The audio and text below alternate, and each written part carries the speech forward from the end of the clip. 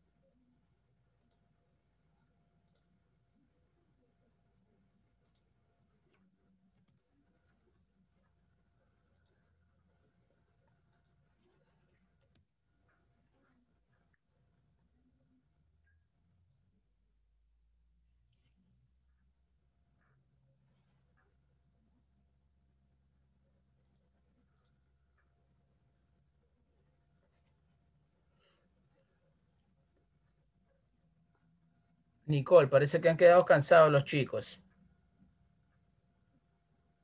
Hola.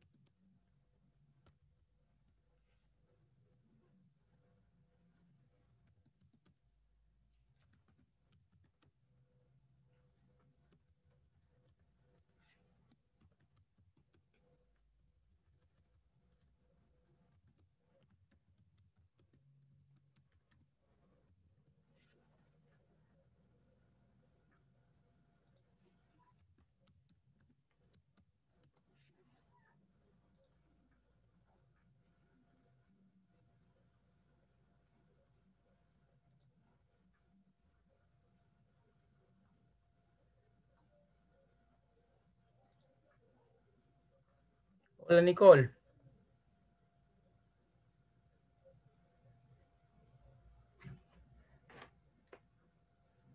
Hola.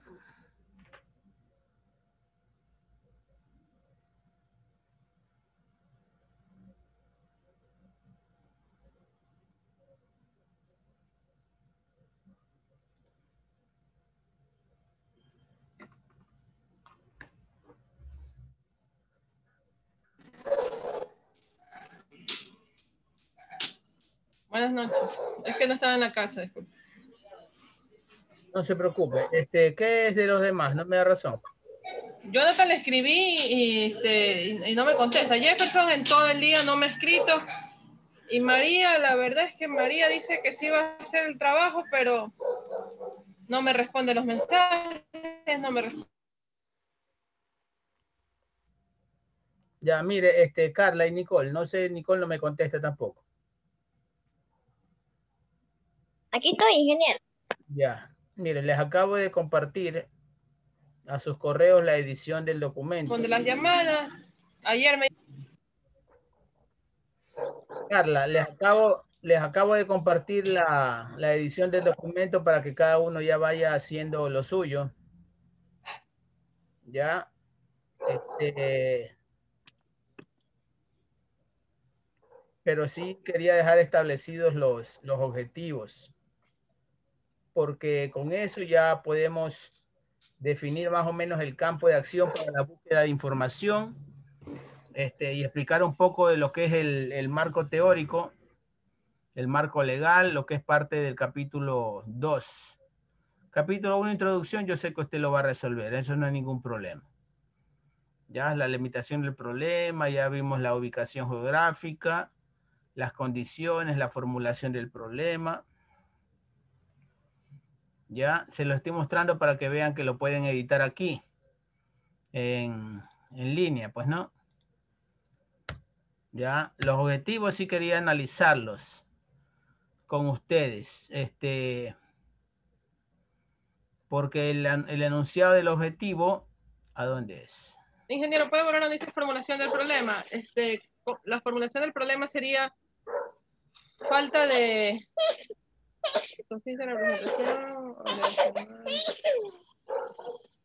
Inexistencia es inexistencia de un manual. Inexistencia de un manual Claro, para la evaluación de accidentes laborales dentro del instituto, ¿verdad? correcto. ¿Ya? Sí, tan pequeño como lo estamos diciendo. No, pues ahí tiene que sustentar. pues, Aquí por eso en el documento se da las pautas de cómo sustentarlo, ¿no? Falta ahí el parafraseo de lo que le decía. Ya. ¿Ya? Hay que ser un poco labioso para esto. Pues.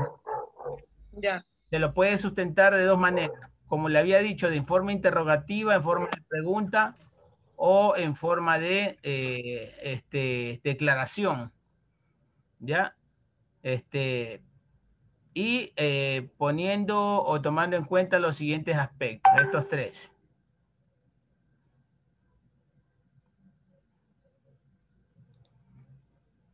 ¿Ya? Eh, carecer de expresiones que implican juicios de valor, eh, no originar respuestas tales como sí o no y estar delimitados en cuanto a tiempo, espacio y población. Ya habíamos definido el tiempo y paso, el espacio y la población de, a, la que, a la que es aplicada nuestro objetivo. ¿Ya?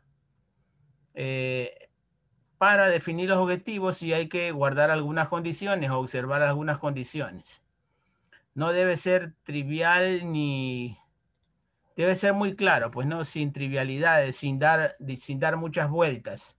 Si es que el objetivo se plantea de buena manera, con las palabras correctas, que ni una palabra sobre, y falte tampoco, es mejor. O sea, con dos líneas, suficiente. Ahora, los objetivos específicos dependen de qué tanto se quiera investigar, qué tan profundo se quiera investigar o qué amplio también puede ser nuestro tema. Y por el título que tenemos, en verdad, nuestro tema resultaría bastante amplio si lo hubiéramos dejado en manual como tal, ¿ya? Pero como es una propuesta de manual, lógicamente por el tiempo que tenemos, ahí lo achicamos bastante, pues no, el tamaño del documento, ¿ya?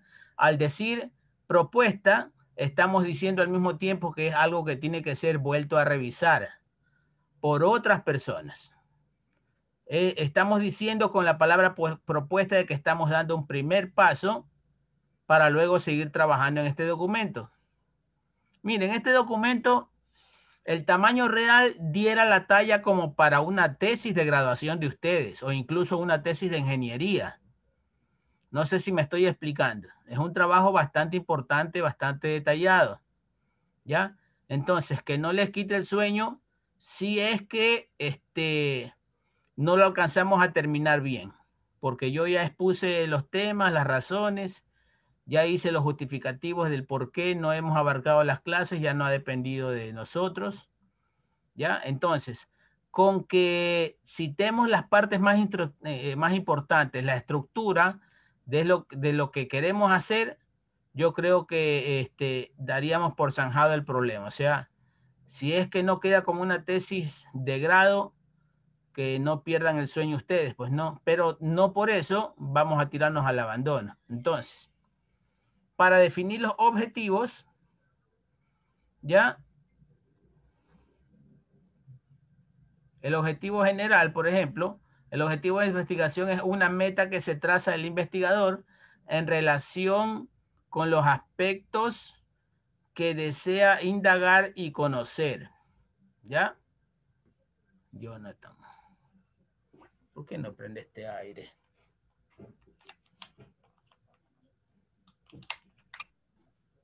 Ingeniero, como objetivo estaría describir las causas de los accidentes laborales en el instituto.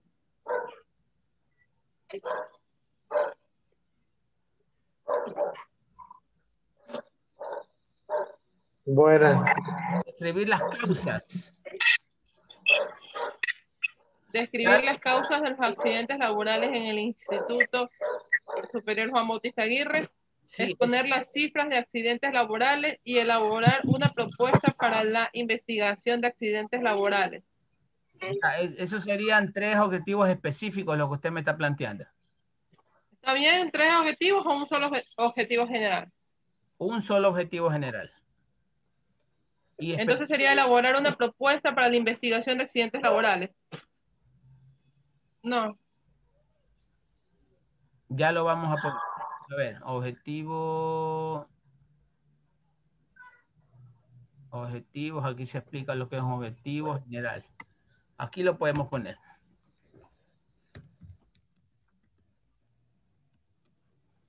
Ingeniero. Ya. sin entrar en polémica o satanizar algo. Este, esta niña María Ruiz no, no le veo interés. Para nada. Para nada. No le veo interés. Le he escrito, la he llamado, le indicamos lo que le tocaba investigar, no hace nada por conectarse. Yo hablé con la mamá personalmente, ya somos de una edad que no debemos hablar con la mamá de nadie, pero yo hablé con la mamá de ella y me dijo que no habían tenido internet, pero les conectaron el internet el día lunes, ya estamos jueves. Tres días que ella ha tenido internet y no ha sido capaz ni de escribir o conectarse a las llamadas, aquí a las, ni a clases normales ni aquí en las conferencias. Y a la práctica, Tampoco fue.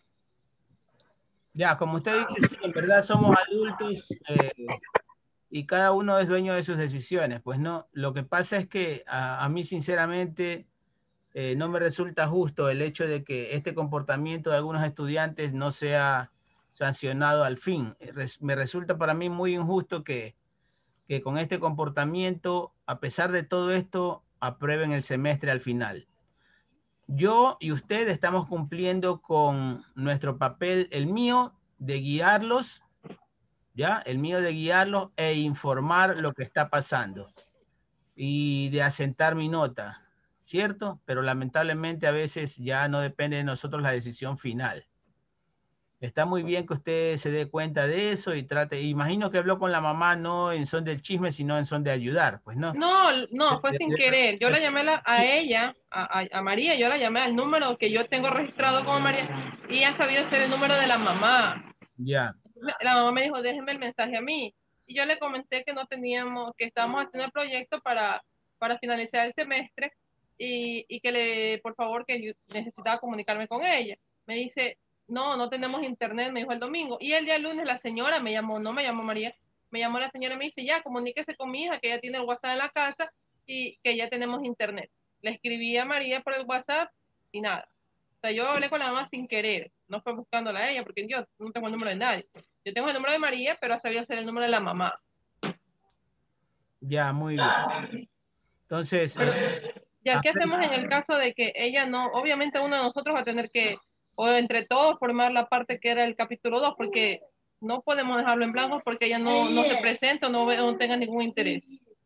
Y justamente el capítulo 2 es uno de los más extensos, porque es el marco teórico y el marco conceptual.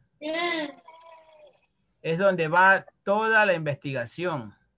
O sea, todos los datos, los, te- los, los, los conceptos nuevos que necesitamos. Por ejemplo, aquí en el capítulo 2, el marco conceptual dice, se colocan las definiciones o conceptos relacionados con el tema. A ver, ¿qué conceptos necesitaríamos aquí? Por ejemplo, primero, Primero lo que es un manual, un concepto a establecer. Otro, que es un accidente laboral, ¿cierto? Sobre esos conceptos de ley tenemos que trabajar. ¿Ya? ¿Cómo se llama? ¿Cómo es nuestro título?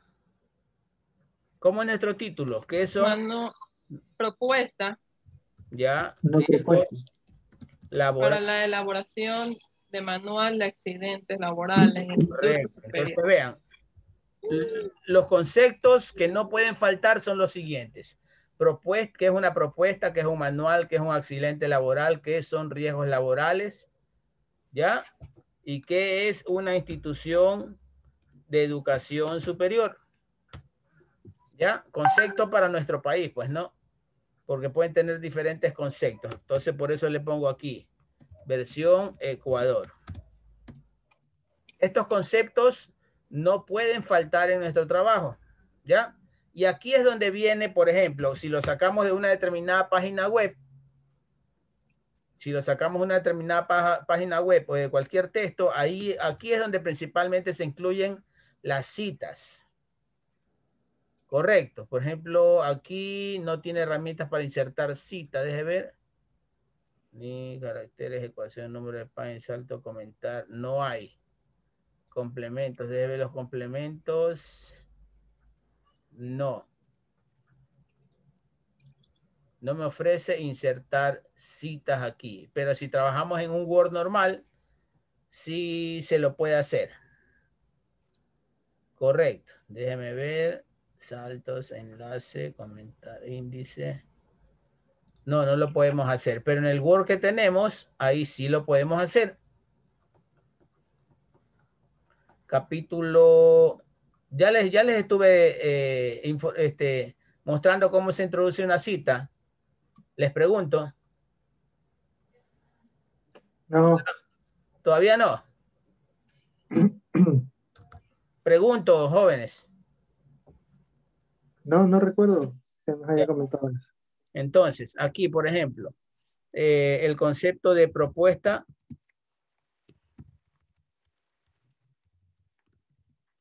El concepto de manual, el concepto de accidente laboral, ¿ya?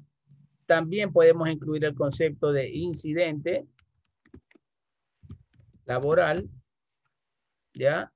También que habíamos definido qué es, qué son los riesgos laborales y qué es una institución, porque ese es nuestro tema, ¿no? Y, necesitamos definir institución de educación superior. Bueno, buscamos esto, punto y raya, escribimos, bla, bla, bla, bla, bla, bla, bla, bla, bla. Esto es lo que encontramos en la red y supongamos, vamos a incluir una cita aquí, o sea, vamos a escribir de dónde obtuvimos esa información. Muy bien, entonces nos vamos a insertar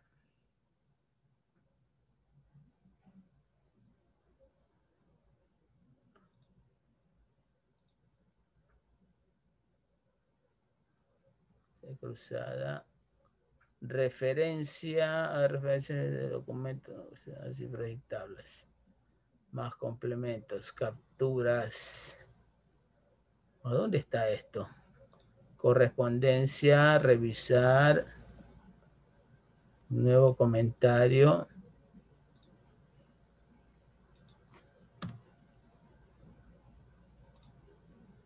Aquí debería estar. Yo no sé por qué no me vota la, marcador referencia.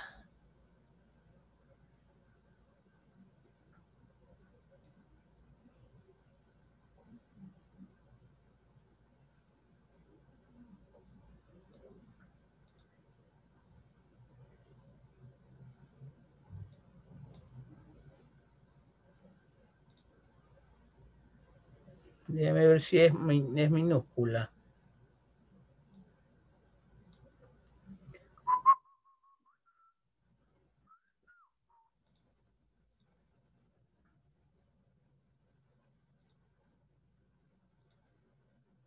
Aquí está, en referencias. Ahí me cambió el, asunto, ¿vieron? Ya cuando lo puse en minúsculas. En referencias, usted pone aquí insertar cita. Si estamos viendo, ¿no? Dentro de la pestaña de referencias, vamos a insertar citas, ponemos agregar nueva fuente. La fuente es de donde nosotros hemos tomado la información. Correcto. Entonces nos, nos sale un cuadro en el cual nosotros tenemos que incluir la información de dónde tomamos esa información. Por ejemplo, puede ser documento de sitio web, puede ser un sitio web como tal, puede ser eh, medios electrónicos, revistas, este, artículos científicos, puede ser de parte de una película, puede ser un caso judicial, puede ser, bueno, mira que ya no sale libros, vea, ya no sale, ah, no, sí sale libro, ¿ya? Por ejemplo, aquí puede ser este W. Avalón, que es un físico, eh, un ingeniero mecánico, ¿ya? Ponemos referencia, autor corporativo, título, por ejemplo, podemos eh, citar el libro del cual se tomó, supongamos este prontuario de máquinas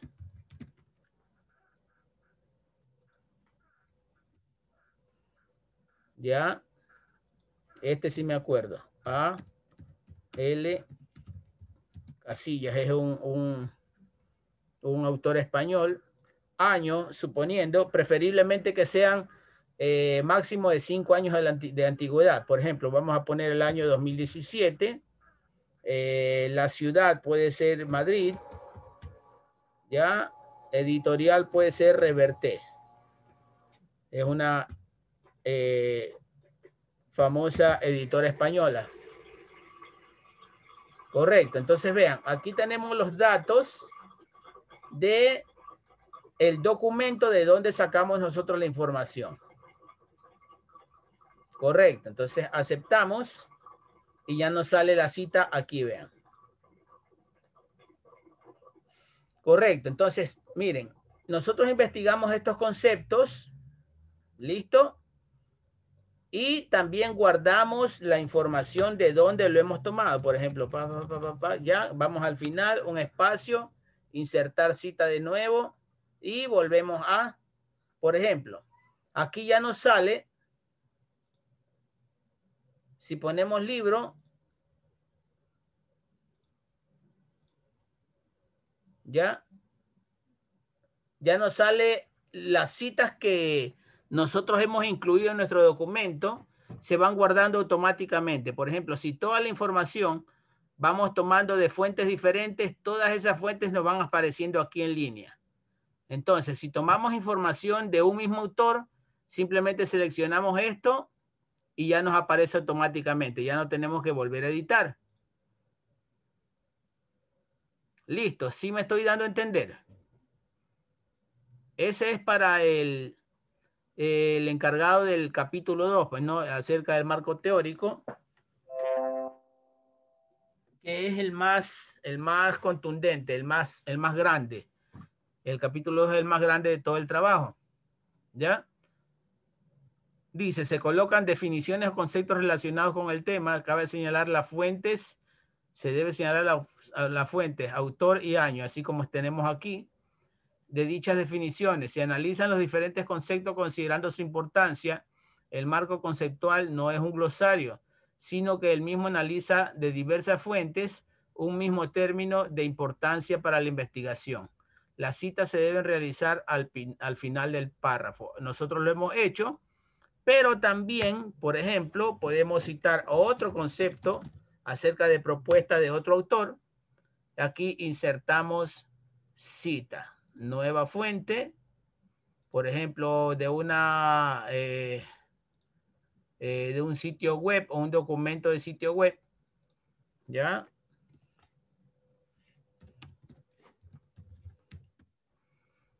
¿Ya? Correcto. Nombre del sitio web. Aquí simplemente pegamos este el link, ¿ya? El, el dominio de ese, de ese sitio donde nosotros, nosotros sacamos la, investigación. Si es que no tenemos referencia del año, ponemos 2021, que es la actualidad, ¿ya? Y ahí los, eh, la fecha que fue actualizado ese documento. La última fecha, por ejemplo, septiembre 24, eh, y aquí pegamos el URL. Correcto, que es el link de esa página que estamos investigando. ¿Ya? Aquí va el nombre comercial, disculpen. Aquí va, aquí va el nombre comercial. Eh, por ejemplo, este metalurgia. Metalurgia industrial.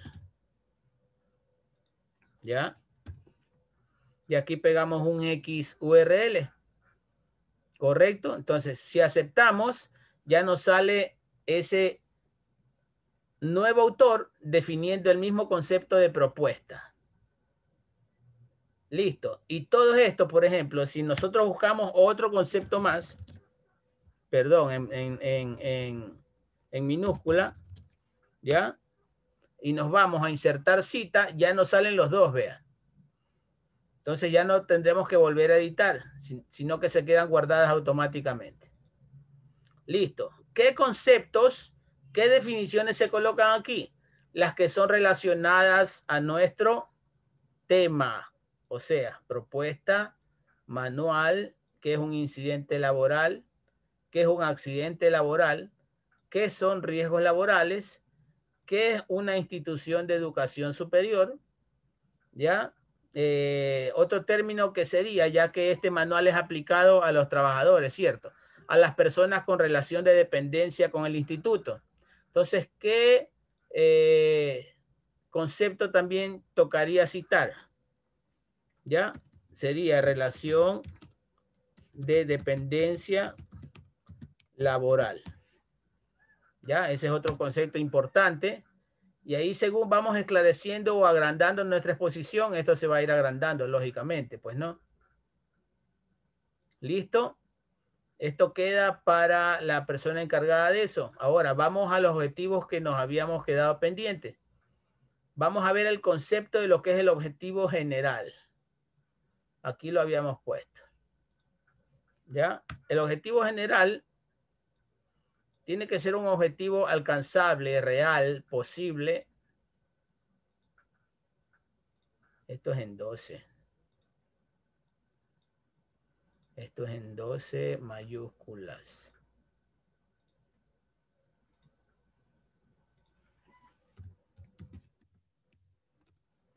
Objetivo general. ¿Qué condiciones debe cumplir un objetivo general?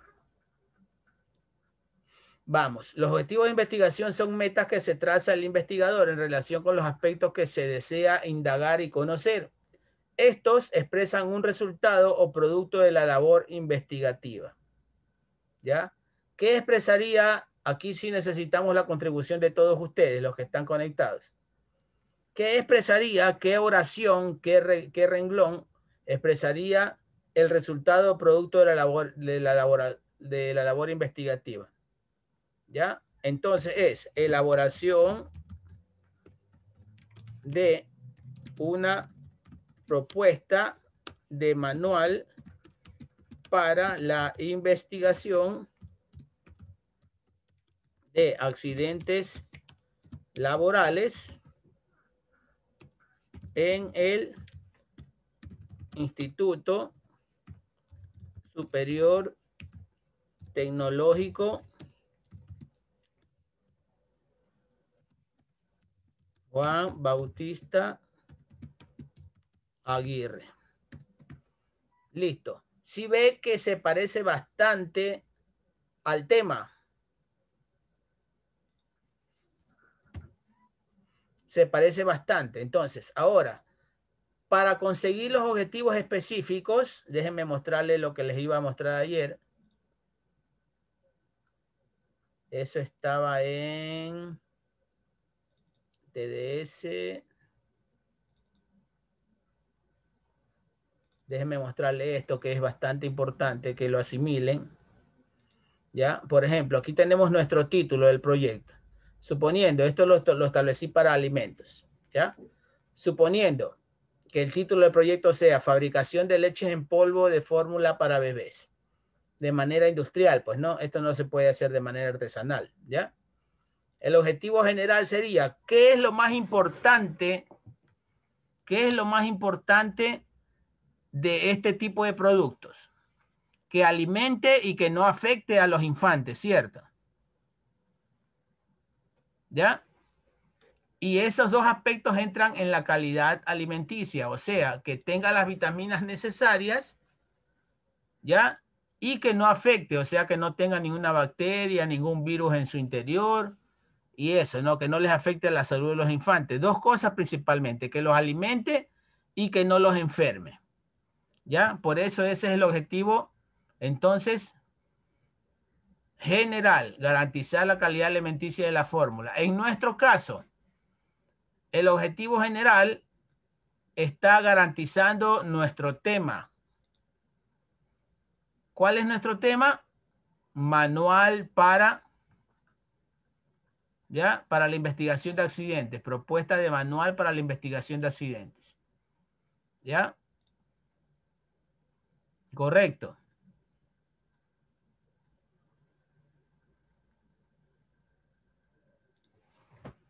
Perdón, este tiene que ser un vuelo. Elaborar una propuesta de manual, correcto. Tiene que ser un verbo terminado en ar, er, ir. Estos son los verbos aplicables a los, a los objetivos eh, específicos también, ¿ah? de acuerdo al nivel de investigación. ¿Cuál es nuestro nivel de investigación? No lo hemos definido todavía. Aquí lo tenemos. Tres aspectos principales en la manera de investigar existen. Se los voy a mostrar.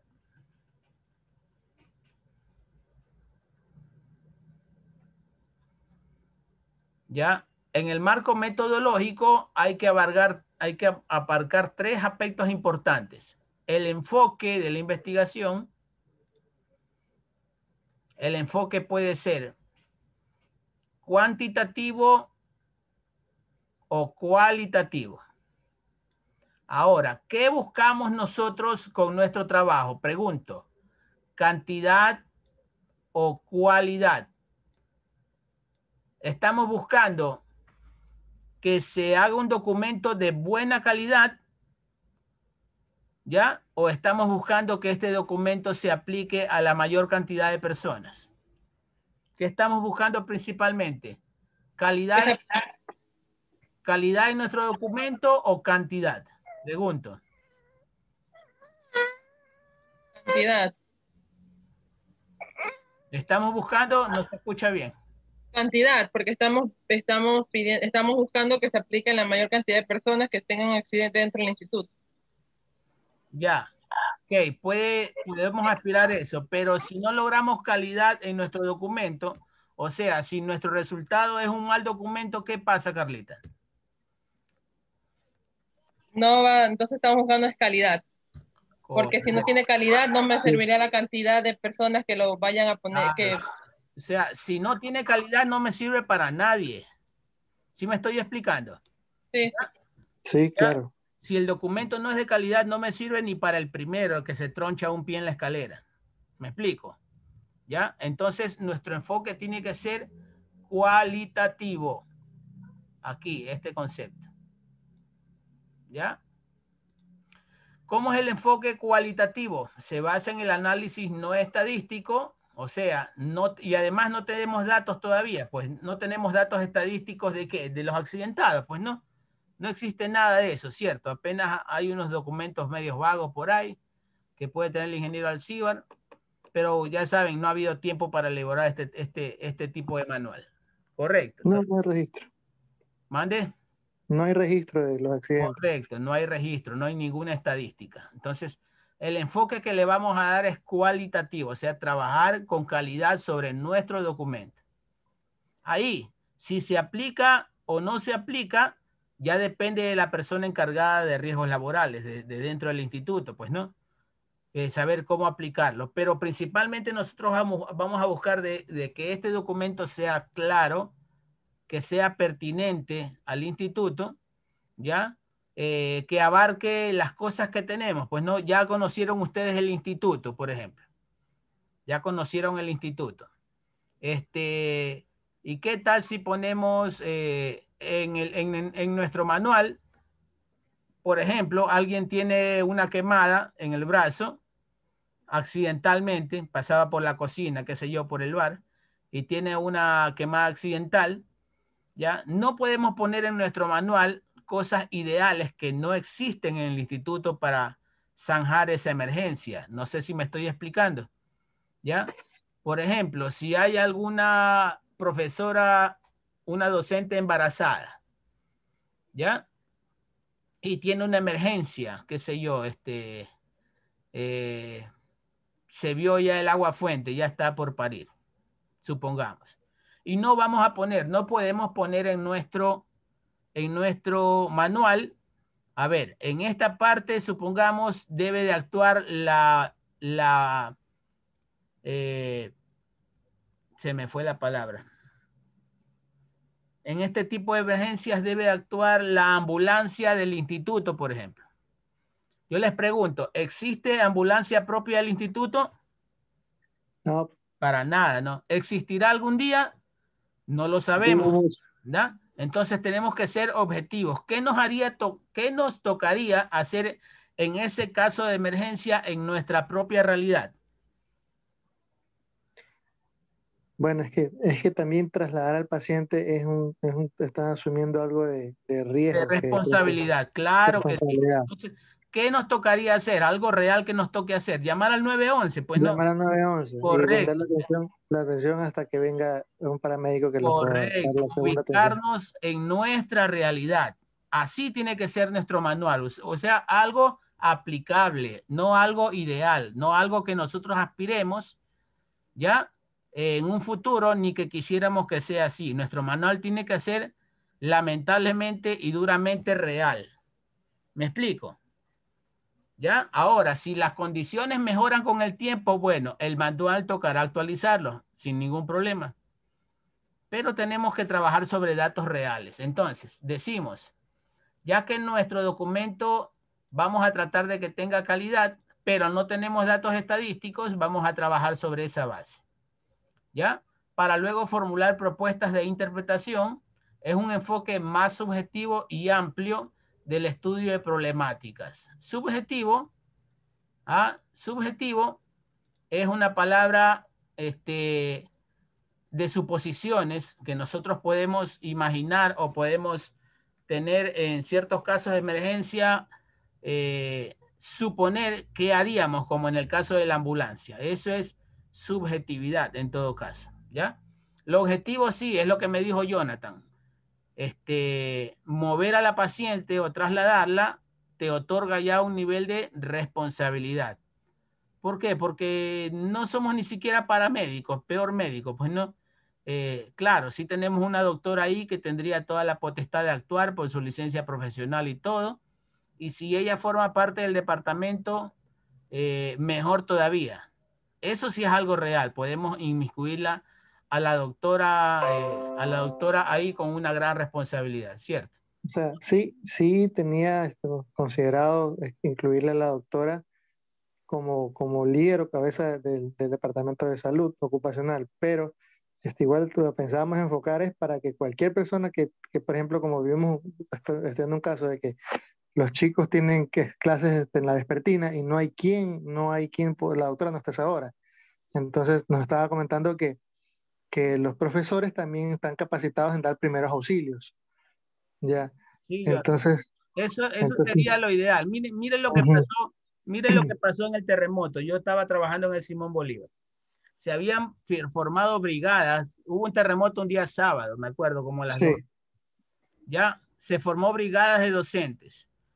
Eran, eh, éramos como alrededor de 12 docentes y se había, había una lista, pues no, y lamentablemente, este, de los docentes que estábamos dando clase en ese día, ese día sábado, ¿ya? Lamentablemente, según nuestros horarios de clase, ni uno había, o sea, ni uno estaba presente, ni uno que formara, formara parte de esas brigadas. Entonces, uno puede haber hecho toda la gestión, formación, capacitación, comprar las cosas, pero en el momento de la hora no, no coincidían, no coincidían los horarios, o sea, no habían hecho los horarios tomando en cuenta de que siempre tiene que estar mínimo un equipo de emergencias, ¿ya? Para este tipo de casos. ¿Me explico? Entonces, es, es una coordinación general. De nada te sirvió, de nada nos sirvió a nosotros capacitar tanto y formar si en el momento no había nadie y los que les tocaba, los que también tenían la capacitación, no tenían clase en ese momento y estaban haciendo lógicamente sus cosas particulares, ¿no? No tenían cómo movilizarse porque en ese tiempo la mayoría eran eh, a pata o en colectivo, ¿ya? Entonces, les estoy explicando esto porque para que se den cuenta de que hay que tomar en cuenta muchos aspectos, que incluso los horarios, los horarios deben ser sincronizados con cada las actividades. Bueno, desde el 2016 eh, se ha logrado un poco de conciencia en estos aspectos, pero, pero todavía resulta muy poco. ¿Ya? Ahora, este, además, dice aquí, además el análisis de parte de los juicios, ideas y opiniones del investigador. Gracias, Jonathan, por tus aportaciones. Aunque en sentido es un enfoque menos riguroso, no por eso deja de ser serio. Es un enfoque menos riguroso porque ya nos estamos librando de los benitos, de los benditos números, ¿cierto? ¿Ya? Subjetivo no quiere decir que el investigador pueda afirmar lo que quiera sin fundamentos. Ojo con esto. La formulación del discurso debe partir de la lógica y la coherencia. ¿Ya? La investigación cualitativa, o sea, la que busca la calidad, tiende más hacia la expansión y la generalización del conocimiento y la recolección de los datos al ser documental. ¿Por qué va a ser documental? ¿quién nos va a ayudar con esto? ¿Quién nos va a ayudar a hacer nuestra, nuestro trabajo documental? Aquí les voy a poner ingeniero Alcibar, porque es la persona que nos va a ayudar. Espero que ya hayan contactado con él y, recabar, y recabado la información. ¿Ya? Gracias al ingeniero Alcibar y a la ingeniera Rosita que nos pueden facilitar la información, nuestra investigación va a abordar ese tópico de tipo documental. También tuvimos una entrevista en la mañana con la doctora Gladys. Ya. Pero ella nos dijo, o sea, si tienen una estadística de los accidentes y eso, pero está en papel y están en los archivos del instituto y no los tienen físicamente ella, ¿cómo sacarlo? Ya sí, eso es mejor obviarlo porque las condiciones actuales, las condiciones actuales no nos permiten trabajar a esa profundidad. Y ya que, es que también, ajá, diga Jonathan. Ingeniero, lo que pasa es que, bueno, también dentro de lo que conversamos con ella, o sea, ya hablando, si la, la criolla, ¿no? Este, no han llevado nunca un registro de eso. De pronto hay un, un papel firmadito de lo, de, de lo que le pasó o un, un, documento de lo que pasó, pero no se ha reportado al IES no se ha, ido no se ha llevado a riesgo de trabajo, no hay un este, informe ampliatorio. Entonces, ya mejor es como que no hay nada y, y, partimos de cero. Correcto, sí, correcto. Entonces, ¿qué es lo que nos toca hacer a nosotros? Decir, a ver, en este caso se debe hacer esto, en este otro caso se debe hacer, como que, como, como que el instituto recién nace, ¿me explico? ¿Ya?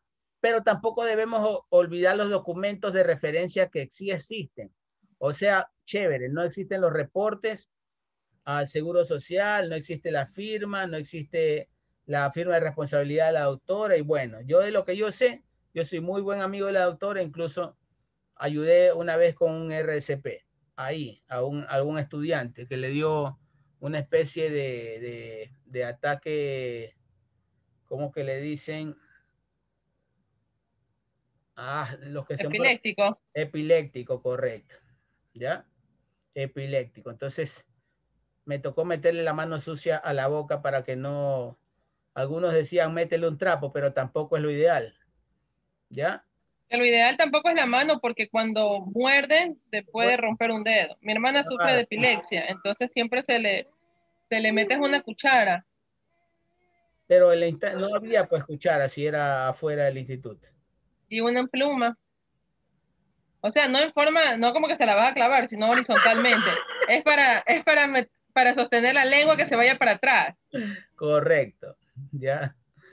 Ya, entonces, vean, ese tipo de emergencias, ¿no? Eso es lo que nosotros tenemos que buscar, dejar conceptualización clara de qué es lo que debemos hacer en cada uno de esos, de esos casos.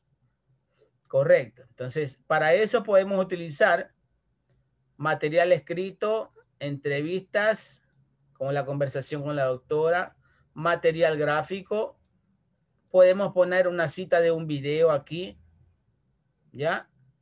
Este, aquí podemos eh, citar eh, otro concepto, por ejemplo, accidente laboral, tipos de accidentes laborales, de accidentes Mire cómo va fluyendo la información en nuestro documento, se pone más grande todavía. ¿Qué otro, otro concepto nos tocaría abarcar cuando hablamos de tipos de accidentes laborales? También que es una enfermedad laboral, ¿cierto? enfermedad profesional. Enfermedad profesional, sí, así es. ¿Ya? Y no crean que los docentes no sufrimos de eso. A veces nos da histeria. Una es la mejor de las opciones. ¿Cómo? Hola, ¿quién habló por ahí? ¿Ya? Eh, el bendito estrés. El bendito estrés. Porque somos el sándwich de, en esta situación, ¿no? Entre los alumnos y las autoridades. La presión es recibida de los dos lados. Correcto. Entonces, por la excesiva recarga, también encima los terremotos, encima el COVID-19, encima la rebaja de sueldos que hubo, encima las malas decisiones políticas, ya, claro que son cosas que nos afectan a todos, pues, ¿no? Pero lo estamos observando desde el punto de vista de las personas relacionadas con nuestro documento, que son, en todo caso, este, los docentes, ¿ya? Que son los, los que están bajo la figura de empleados en el instituto, ¿ya? Seguimos con, nuestro, con nuestra explicación. Este enfoque va de lo particular a lo general, porque a partir del análisis de una cantidad limitada de datos, esto no existe, por eso se la voy a poner en rojo, ¿ya? El investigador puede proponer conceptos que abarcan una completa explicación o descripción de un fenómeno. Hasta aquí podemos basarnos en un enfoque cualitativo. Ojo, una cosa es el enfoque, ya vamos a ver qué otro aspecto importante vamos a ver en la investigación. Cuando nosotros sí tenemos datos y podemos tomar datos y calidad, hablamos de un enfoque mixto. Por ejemplo, si nosotros tuviéramos datos eh, de la doctora, formas firmadas, eh, selladas y recibidas en el Instituto de Seguridad Social, ya nuestro enfoque ya sería mixto porque ya tendríamos datos estadísticos. Correcto, sería cuantitativo y cualitativo. Al tener esos documentos, ya nosotros sabemos que estamos trabajando con calidad y al tener una cantidad de documentos, trabajaríamos con enfoque de cantidad, o sea, cuantitativo. La unión de los dos se transforma en un enfoque mixto. Por eso les digo, nace la combinación de ambos enfoques. ¿Ya?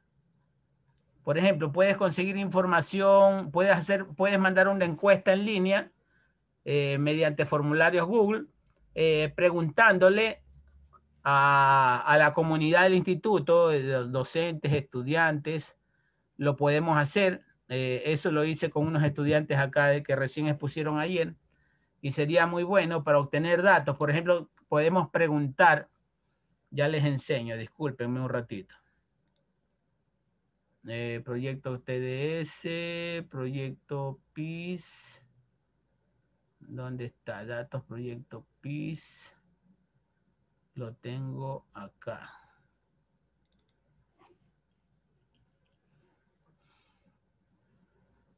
Esto es lo que sustentaron ayer los chicos, lo hicieron muy bien. Por ejemplo, nosotros lo incluimos como, como, este, como anexos. Ya, nosotros podemos preguntar aquí, crear un, un link y mandar una encuesta, ¿no? podemos preguntar haciendo eh, preguntas cerradas, no preguntas abiertas.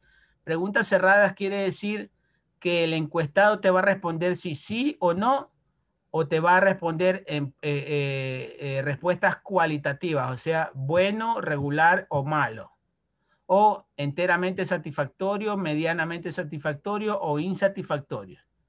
¿Ya? O sea, dar la posibilidad de que el encuestado responda de manera fácil y objetiva. Por ejemplo, este, este modo de, de, preguntas. ¿Sabe usted la diferencia entre matemática estudiada anteriormente y la matemática discreta? ¿Ya? Nosotros podíamos, podríamos preguntar en una encuesta, aquí propuesta de manual. Aquí les pongo al final para que lo tomen en cuenta. Aquí elaborar encuesta, ¿ya? Conoce, conoce usted para qué sirve un manual de, manual de qué era? Hola. Prevención de, espera, evaluación de accidentes laborales. Correcto, de evaluación o de investigación. Investigación, de accidentes laborales. Entonces, el entrevistado te va a responder sí o no. Esa es una pregunta abierta, correcto. Entonces, realizando una encuesta de este tipo, de este tipo, nosotros estamos obteniendo qué? Estamos obteniendo datos, datos. Correcto, que nos pueden llevar a una mejor situación, a ver qué tan necesario llegaría a ser nuestro manual. ¿Qué más podríamos estar preguntando? Sea, ahí sería una respuesta cerrada, pues si ya estamos siendo objetivos, poniendo sí o no, no le estamos dando chance. ¿Y por qué? La si le ponemos un y por qué, ahí sí es. Claro, si usted le pone por qué, ya es una pregunta abierta. Ajá, si le ponemos sí o no, es una pregunta cerrada. Correcto, ¿ya? Y existen preguntas cerradas de modo cualitativo, como por ejemplo, eh, eh, pongo la pregunta, ¿en qué nivel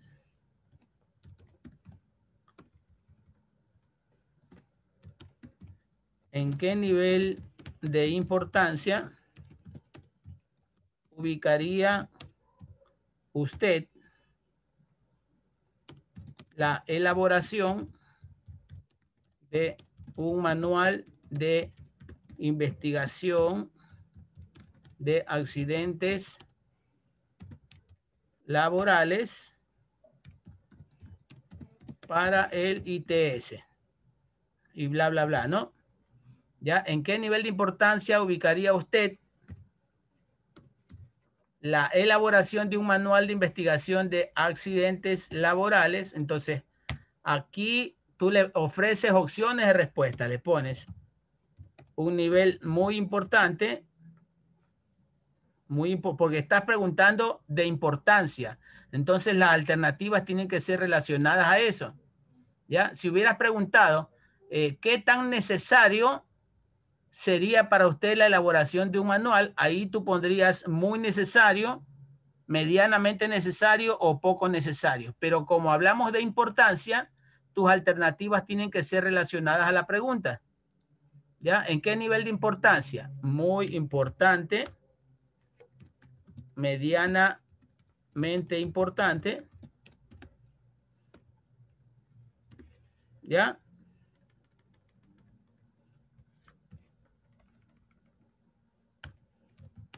O no importante. Les está dando tres opciones de respuesta a tu encuestado. ¿Qué más podríamos preguntar para darle valor o pertinencia a nuestro documento?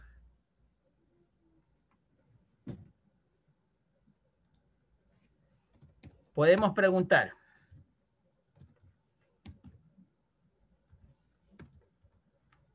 ¿Creería usted que un manual de investigación de accidentes laborales ayudaría a la reducción o a la minimización de los mismos. ¿Ya? ¿Creería usted, punto, que un manual de investigación de accidentes laborales para el instituto ayudaría a la reducción de los mismos. Entonces ahí le das otra respuesta, otra pregunta cerrada, sí o no. Cierto, ¿ya? Aquí le pone sí, no, en qué nivel de importancia, ok. Acá otra respuesta cerrada, sí o no. Entonces, al momento de sustentar tu documento, tú te basas en tu encuesta, o sea, ya no estás inventando datos. Ya no puedes decir, mi documento es importante porque yo digo que lo es o porque a mí me da la gana. ¿Me explico? Ya estás preguntando a otras personas fuera de ti. Ya estás recabando información, ¿ya? Que sustentan la importancia de tu trabajo. Sí me estoy explicando, ¿no? Entonces, porque alguien les puede decir, bueno, ese es un trabajo que no va a sumar en nada al instituto, de que va a quedar en letra muerta, de que solo es gastado tinta y papel y nada más. No, señores, aquí está la encuesta y la gente que encuestamos nos dio estas respuestas. Por eso nuestro documento ganado pertinencia e importancia. Correcto. ¿Qué más podríamos preguntar? Tenemos tres preguntas. Cinco preguntitas podemos hacer. Tranquilamente. Vamos al ejemplo de acá. ¿Ya? Vamos al ejemplo de acá. Por ejemplo, ¿cree usted que el conocimiento de la matemática discreta es importante como paso previo para aprender a programar? ¿Ya? ¿Qué nivel de relación cree usted que existe entre la matemática y la programación? ¿Cree usted que si una persona es buena en las matemáticas lo será programando? ¿Cuál cree usted que es el nivel de importancia de la programación informática en la ciencia del futuro? ¿Ya? Mira, aquí hay un nivel de importancia alto, bajo o medio. ¿Ya? ¿Cree usted que la matemática sigue influyendo en la programación informática? Establezca un nivel de importancia en la, de la actualización de conocimientos en el programador informático. Aparte de los conocimientos de matemática discreta, ¿qué otros conocimientos se necesitan para ser un buen programador? ¿Ya? Entonces, ¿qué más, qué otra pregunta podíamos nosotros elaborar para el sustento, de, para que nuestro documento gane importancia, mejor dicho? Ya preguntamos si cree que es necesario. ¿Conoce usted para qué sirve? ¿En qué nivel de importancia ubicaría? ¿Cree usted que un manual de investigación ayudaría a la reducción de los mismos? ¿Ya? Eh, ¿Qué más?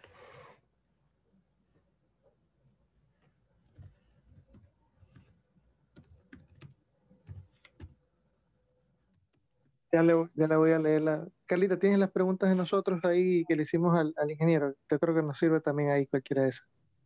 Ya dame un ratito, ya las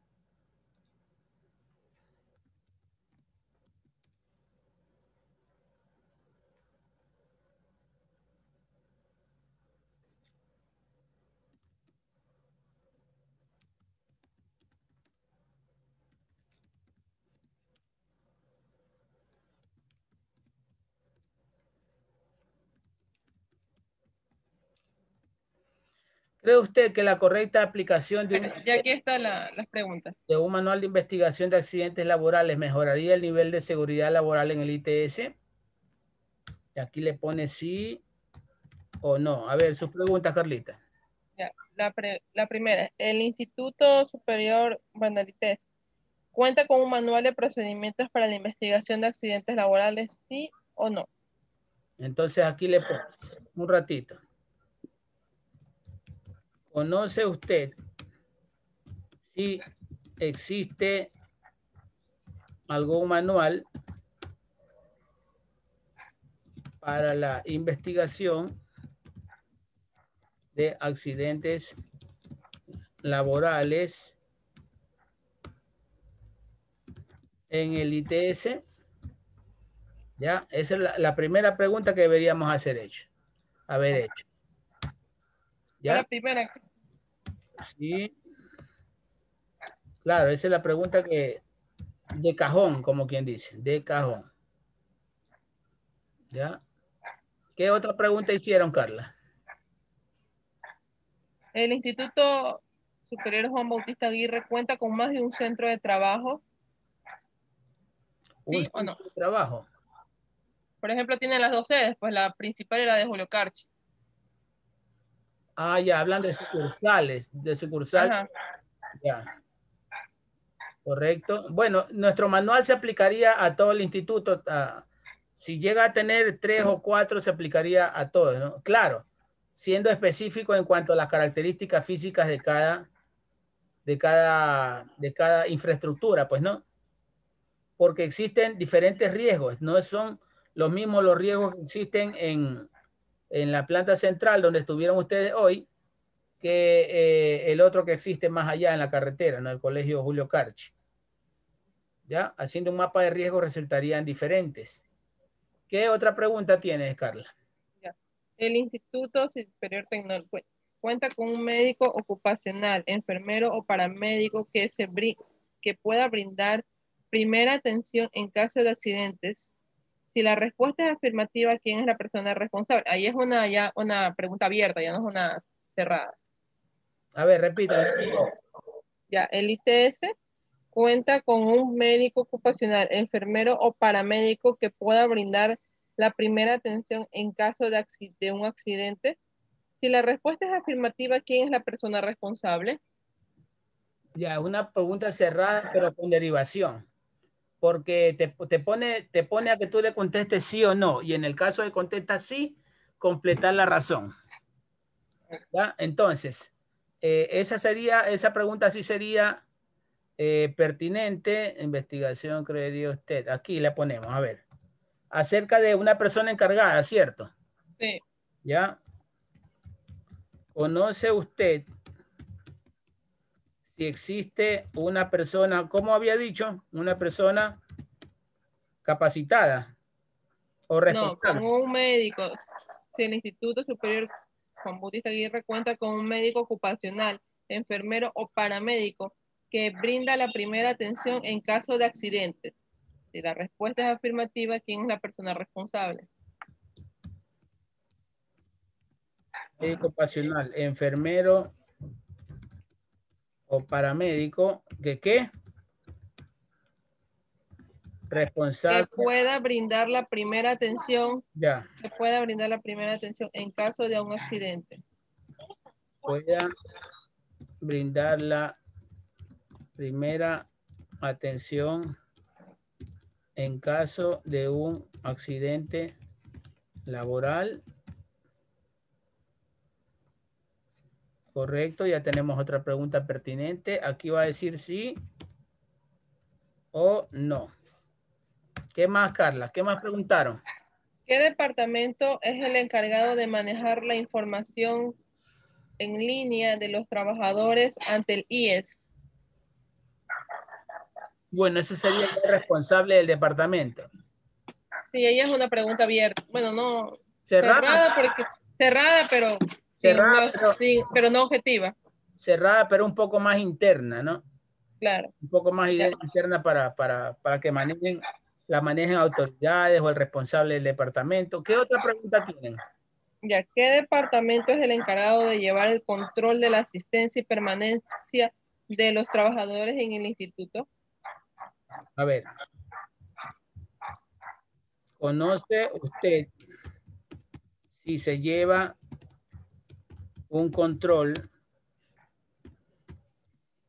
exhaustivo acerca de, acerca de qué me dijo? De la permanencia De la permanencia de los trabajadores en el Instituto Superior del tiempo de permanencia puede ser. ¿O sabe qué? Eh, es pertinente también la situación de salud ocupacional. Nosotros los docentes tenemos una ficha, una ficha médica que resultaría muy pertinente en este caso. ¿Por qué? La ficha médica detalla la situación individual de cada persona. Por ejemplo, si un docente tiene alta la presión, ya sufre la presión, si es diabético, si es epiléptico, si sufre de migraña y todo eso. Ya, esa pregunta también sería pertinente. Ya la vamos a poner. Sí, dígame, Jonathan. pasa que lo escucho bajito, de repente se, se le bajó el volumen y ya no lo escucho casi. Pero Ahí me escuchan. Hola. ¿Está con audífono, Jonathan? Creo que es la señal del internet de él. Porque yo lo escucho bien.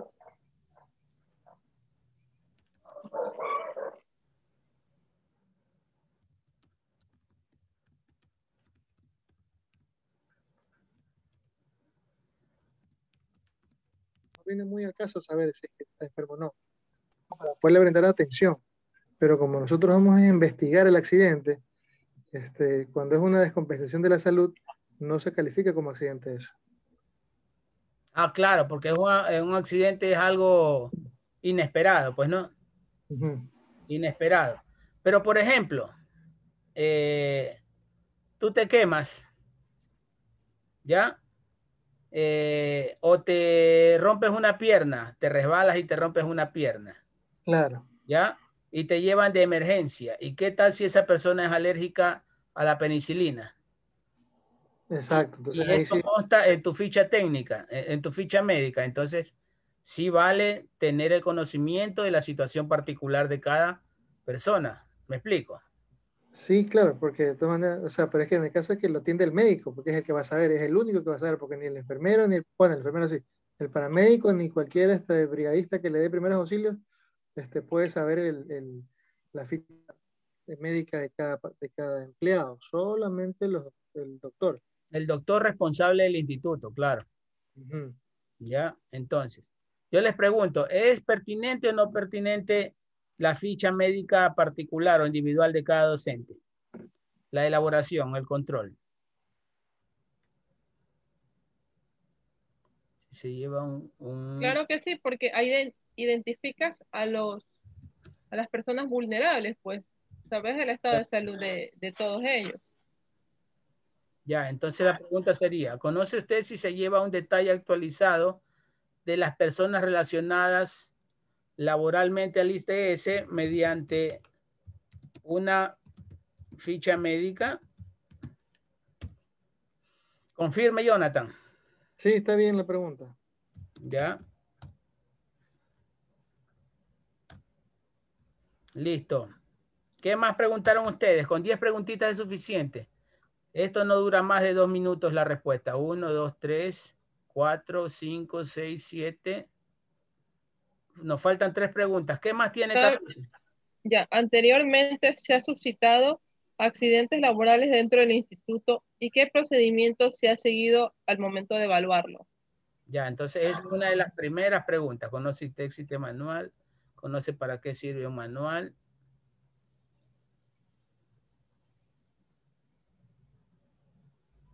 Aquí iría. A ver, repita.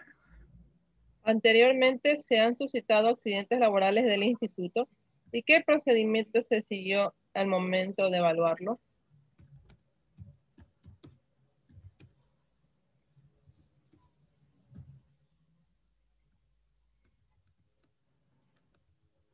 Si ha ocurrido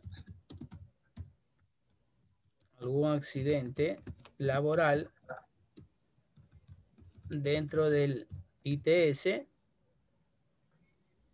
Ya, al, preguntarle procedimientos, al preguntarle procedimientos, ¿qué procedimientos? Ya, ya estamos transformando la pregunta en abierta. ¿Ya? Deberíamos preguntar si se aplicó algún procedimiento. Entonces, ahí la pregunta sigue siendo cerrada. Porque tú lo obligas al encuestado a responder sí o no. ¿Conoce usted si ha ocurrido algún accidente laboral dentro del ITS?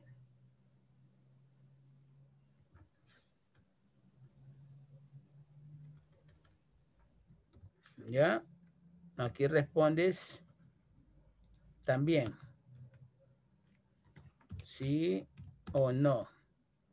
Y si te- se tomó algún procedimiento, ya sería otra pregunta. ¿Ya?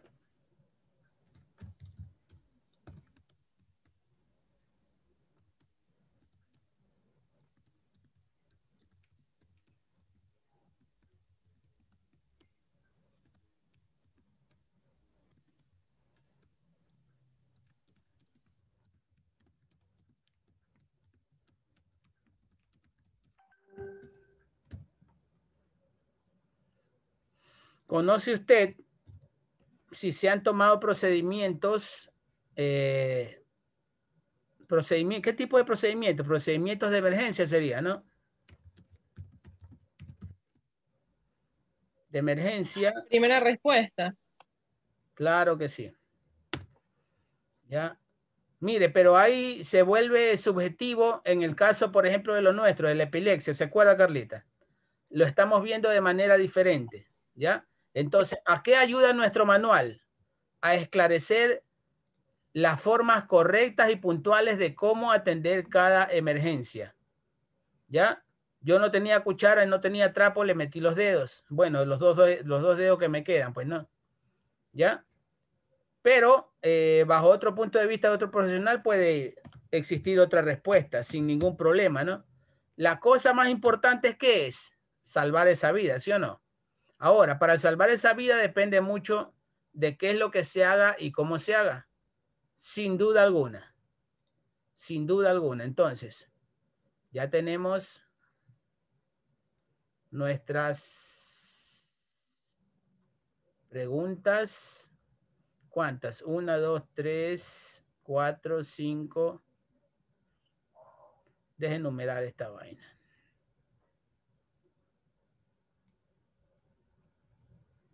No podrás olvidar. ¿Ve?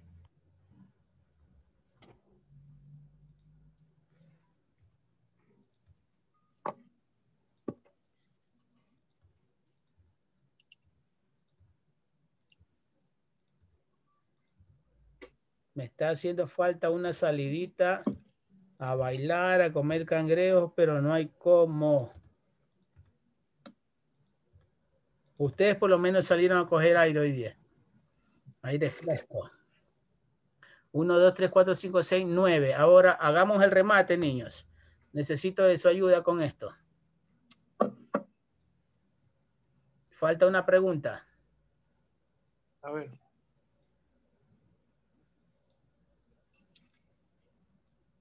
La última que tenemos es, el servidor o trabajador entrega copia del certificado de descanso médico al responsable de la seguridad y salud ocupacional.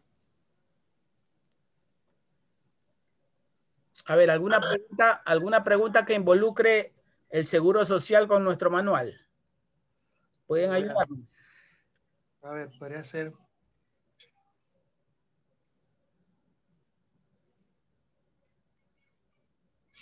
Si conoce lo, este, ¿Conoce si se reportan los accidentes al seguro social? Podríamos poner.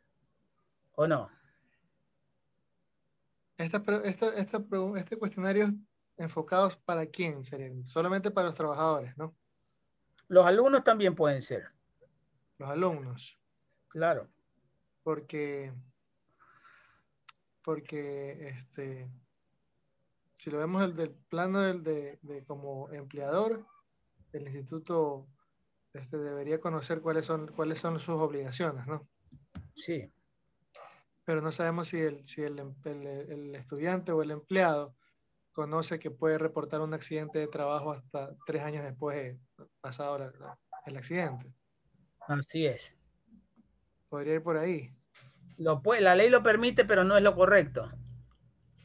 claro Lo correcto es reportarlo inmediatamente dentro de las 24 horas. Bueno, inmediatamente. ¿Ya? Pero yo tuve casos de, de- de- de trabajadores que se fueron solitos a reportar al a, a riesgo de trabajo. Claro. Y ahí, por, eso, por eso fue que este, comenzamos a trabajar en, en- en todos los procedimientos porque se iban, se le pasaban las cosas y, y- o a veces decían que era itinere y nosotros no sabíamos. Entonces había que hacer una investigación, hacer un trabajo, entonces de una manera que lo obligábamos al, al trabajador a, a reportar primero en, el- en la institución para que no, no tenga esos problemas. Ahora, si ya nosotros nos pasábamos los 10 días, pues ya, porque nos caiga el hacha. Pero el manual o los procedimientos que hicimos fue precisamente para eso, para evitar de que, de que haya este, cualquier situación que lo pueda sancionar a la, a la institución, porque eso obviamente le, le cortan la cabeza al de seguridad industrial. Claro que sí.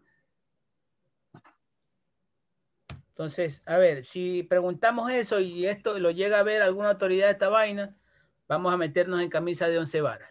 Ajá. Hagamos una pregunta no tan, no tan puñalada, ¿ya? A ver, preguntamos entonces acerca de qué. Si existe algún manual, para qué sirve un manual, qué grado de importancia tendría, conoce si ha ocurrido un accidente, conoce si ha, eh, conoce si se han tomado procedimientos, eh, ¿creería usted que ayudaría a la reducción de los accidentes? Eh, ¿Cree usted que la correcta aplicación de un manual eh, mejoraría el nivel de seguridad? Aquí parece que son, le estamos preguntando lo mismo. Lean estas dos preguntas. ¿Creería usted que un manual de investigación ayudaría a la reducción de los mismos? ¿Ya? ¿O cree usted que la correcta aplicación de un manual mejoraría el nivel de seguridad del ITS? ¿Las, ¿Son pertinentes o no? ¿Se parecen bastante o no? Una cosa es reducción de los accidentes y otra cosa es mejorar el nivel de seguridad. Yo creo que sí. Pero tocaría elaborar una pregunta más si anulamos una.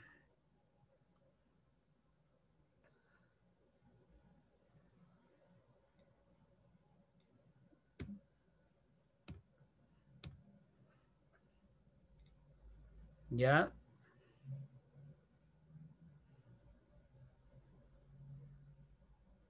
Yo creo que podemos trabajar con esta, no necesariamente tienen que ser 10. Listo, entonces vean, ¿quién de ustedes sabe elaborar una, un formulario en Google? Cri, cri. De que no podía prender el micrófono. Yo, yo, yo he hecho. ¿Tú has hecho formularios? Sí, he hecho encuestas. Ya, ¿me puedes ayudar con esto? Mejor dicho, se pueden, se pueden ayudar ustedes mismos con esto. Claro. Yo estoy haciendo como que el trabajo fuera mío. Ya, ya, este. Y ese archivo lo, este, lo envíalo para yo tipearlo más tardecito ahí. Y ya Ya, ahorita lo envío. y que la comiencen a repartirla. Pero sí, esto es inmediato, que lo respondan en, las, en 24 horas. Guardar Mm. como escritorio, propuesta de manual. Están al último, ¿ah? Ya lo, ya lo envío por aquí. Deja cerrarlo. Deja cerrarlo. Dejar de compartir. Pero vamos a seguir eh, un ratito más, unos 15 minutos. Deja abrir el chat. Vamos a definir los objetivos específicos y ahí nos vamos con la encuesta. 22, 19, 43. Este es. Ingeniero, ¿y este, esta encuesta sería dirigida a quién? Ustedes como docentes, que son los trabajadores, pues. Eh, bueno, eh, pero ¿qué pasaría si un alumno tiene un accidente?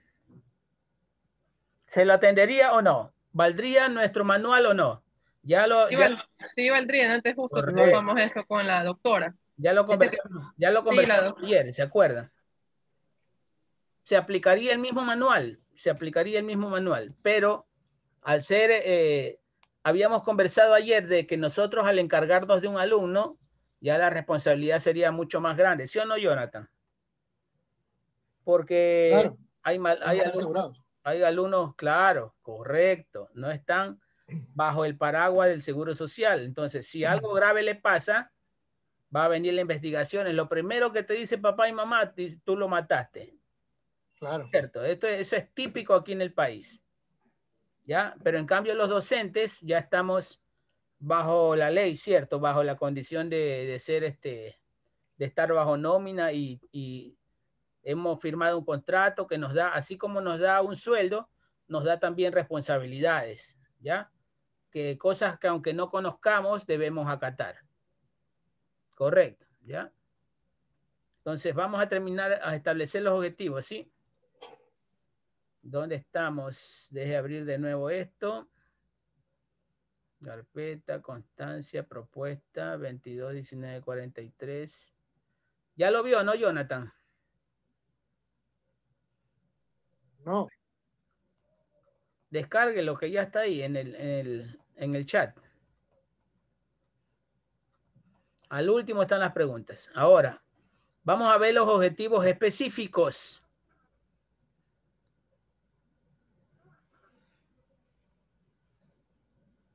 Evaluar, por ejemplo.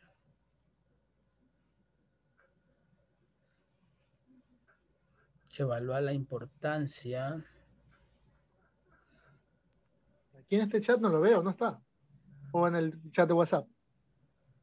Está en el chat de propuesta manual, dice. Aquí en el chat de Zoom está Jonathan. Chat de No Zoom. lo veo. Estoy en el teléfono. ¿Lo puedes descargar, eh, Carlita? Ya te lo mando Ya te lo envié. Bueno, ya, no importa, ingeniero, ahí envíaselo al WhatsApp. sí, al WhatsApp.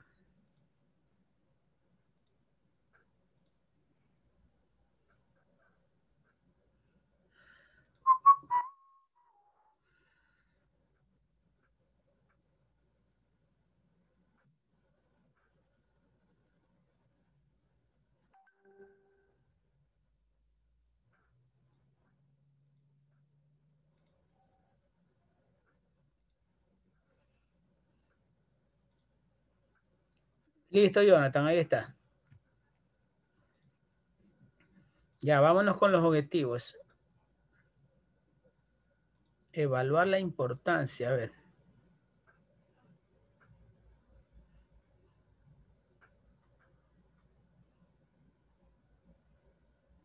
Ya, ya lo tengo acá. Ya.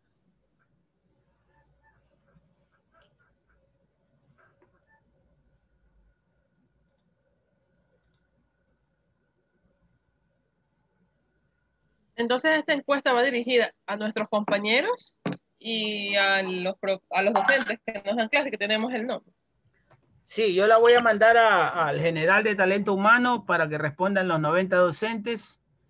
Este, este, vea el título, este, Jonathan, más o menos la configuración, cómo tiene que quedar este asunto. Tómele foto si quiere para que lo tome como referencia. Mire, la portada de... Tómele foto a la pantalla para que vea cómo, tiene que quedar establecido ahí Instituto Superior Tecnológico. Ahí le pone proyecto eh, de prácticas preprofesionales y abajo le pone primero eh, TSPRL. Con ese encabezado. Todo eso se puede configurar en la, en la encuesta. Sí. Y luego me yo voy a hacer, yo voy a hacer una plantilla y antes de, de ya se, la enseño, se la mando por, por WhatsApp para que le dé el ok. Correcto. Una vez con el OK ya la mandamos masivamente. Y de los datos obtenidos, eso también se, ale- se arregla rapidito. Entonces, esos datos los podemos proyectar en nuestra, en nuestra exposición, ¿ya? Ya. Eh, ¿Qué más tenemos aquí? TDS. Vamos a ver, eh, quiero saber la importancia de establecer este asunto. Establecer bien el objetivo general, porque me está diciendo aquí que el objetivo general tiene el propósito amplio e integral, o sea, tiene que ser mucho más grande que el tema que guarde correspondencia con el problema a investigar. Por ejemplo, evaluar la afectación ocasionada. Basado en eso, ¿cómo sería nuestro objetivo general? Necesito su participación.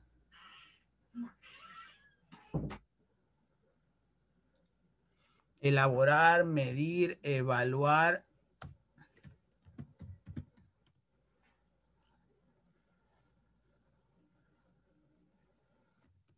Evaluar la necesidad de la existencia. O, no- o evaluar, la, evaluar la necesidad, sí. Hay el grado de importancia de la existencia de un manual para la investigación de accidentes laborales. Correcto.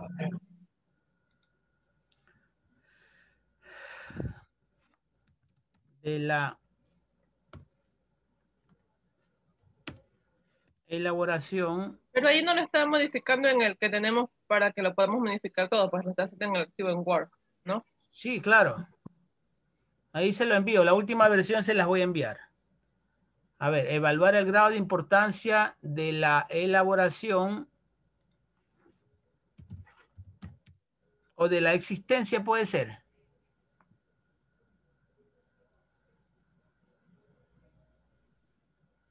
Yo creo que sí podría ser existencia, porque debe de existir. Estamos buscando que exista un manual, que haya un manual. Ya.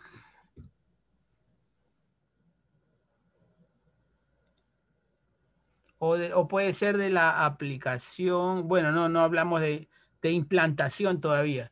Implantación ya es ponerlo en práctica. Y no estamos buscando todavía eso. Recuerden que esta es una propuesta y va a pasar eh, por algunas manos todavía. ¿Ya? Entonces, evaluar el grado de importancia. Al decir grado de importancia, existen varias respuestas. Puede ser muy importante, medianamente importante, poco importante, y esos son grados este, cualitativos, o sea, de calidad. No estás eh, diciendo tiene 10 de importancia, 8 de importancia, 6 de importancia. Eso ya sería en grado cuantitativo, de cantidades. Nosotros estamos hablando de cualidades, o sea, muy importante, medianamente importante y poco importante. Ahora, ahora, les cuento, este título está muy bien relacionado con la encuesta que acabamos de hacer.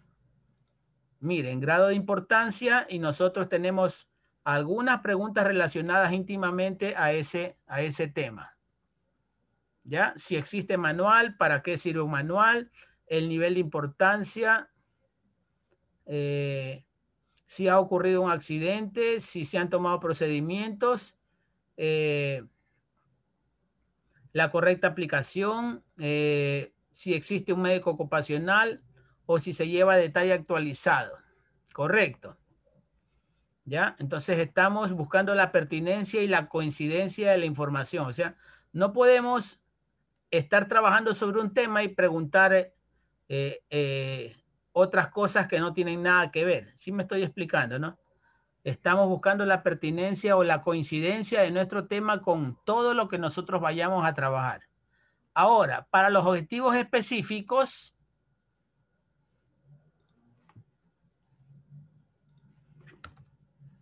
lo podemos incluir aquí, objetivos específicos. Ojo que no les estoy borrando las referencias, no les estoy buscando las referencias para que las usen para el parafraseo. ¿Sí me estoy explicando? Que en base a lo que vayan leyendo ustedes, ustedes parafraseen en donde se necesite hacerlo. Entonces, los objetivos específicos toman una título 2. ¿Ya? El objetivo general toma título 2 también. Listo.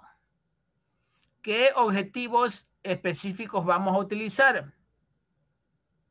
Cuando se trata de explorar, describir o explicar. ¿Ya? Hay tres niveles, tres formas diferentes de hacerlo. ¿Ya? Hay tres formas diferentes de hacerlo. ¿Cómo alcanzamos eso? Habíamos visto de el enfoque cualitativo y el enfoque cuantitativo. Ya habíamos dicho nosotros que vamos a trabajar sobre el cualitativo, ¿cierto? Cualitativo. Cualitativo, ¿ya? En cuanto al enfoque. Ahora, en cuanto al diseño de la investigación, ya habíamos también dicho que vamos a utilizar la investigación documental porque vamos a recurrir a qué? Vamos a recurrir a la red, a los libros, a las revistas, a los textos, a la ley, a la constitución, al 2393, a todas las leyes, al marco legal y todo eso, ¿correcto? Entonces sí vamos a investigar documentos. No es solo una investigación hecha con la vista, ni empíricamente, ¿ya? Aquí dice, la investigación documental es aquella que se basa en la obtención y análisis de datos Mire, obtención y análisis de datos es lo que acabamos de hacer con la encuesta. Justamente, ¿cierto? Es una información que no existía, pero ya la vamos a obtener y analizar. Gracias a ese análisis, nuestro trabajo va a ganar importancia y pertinencia.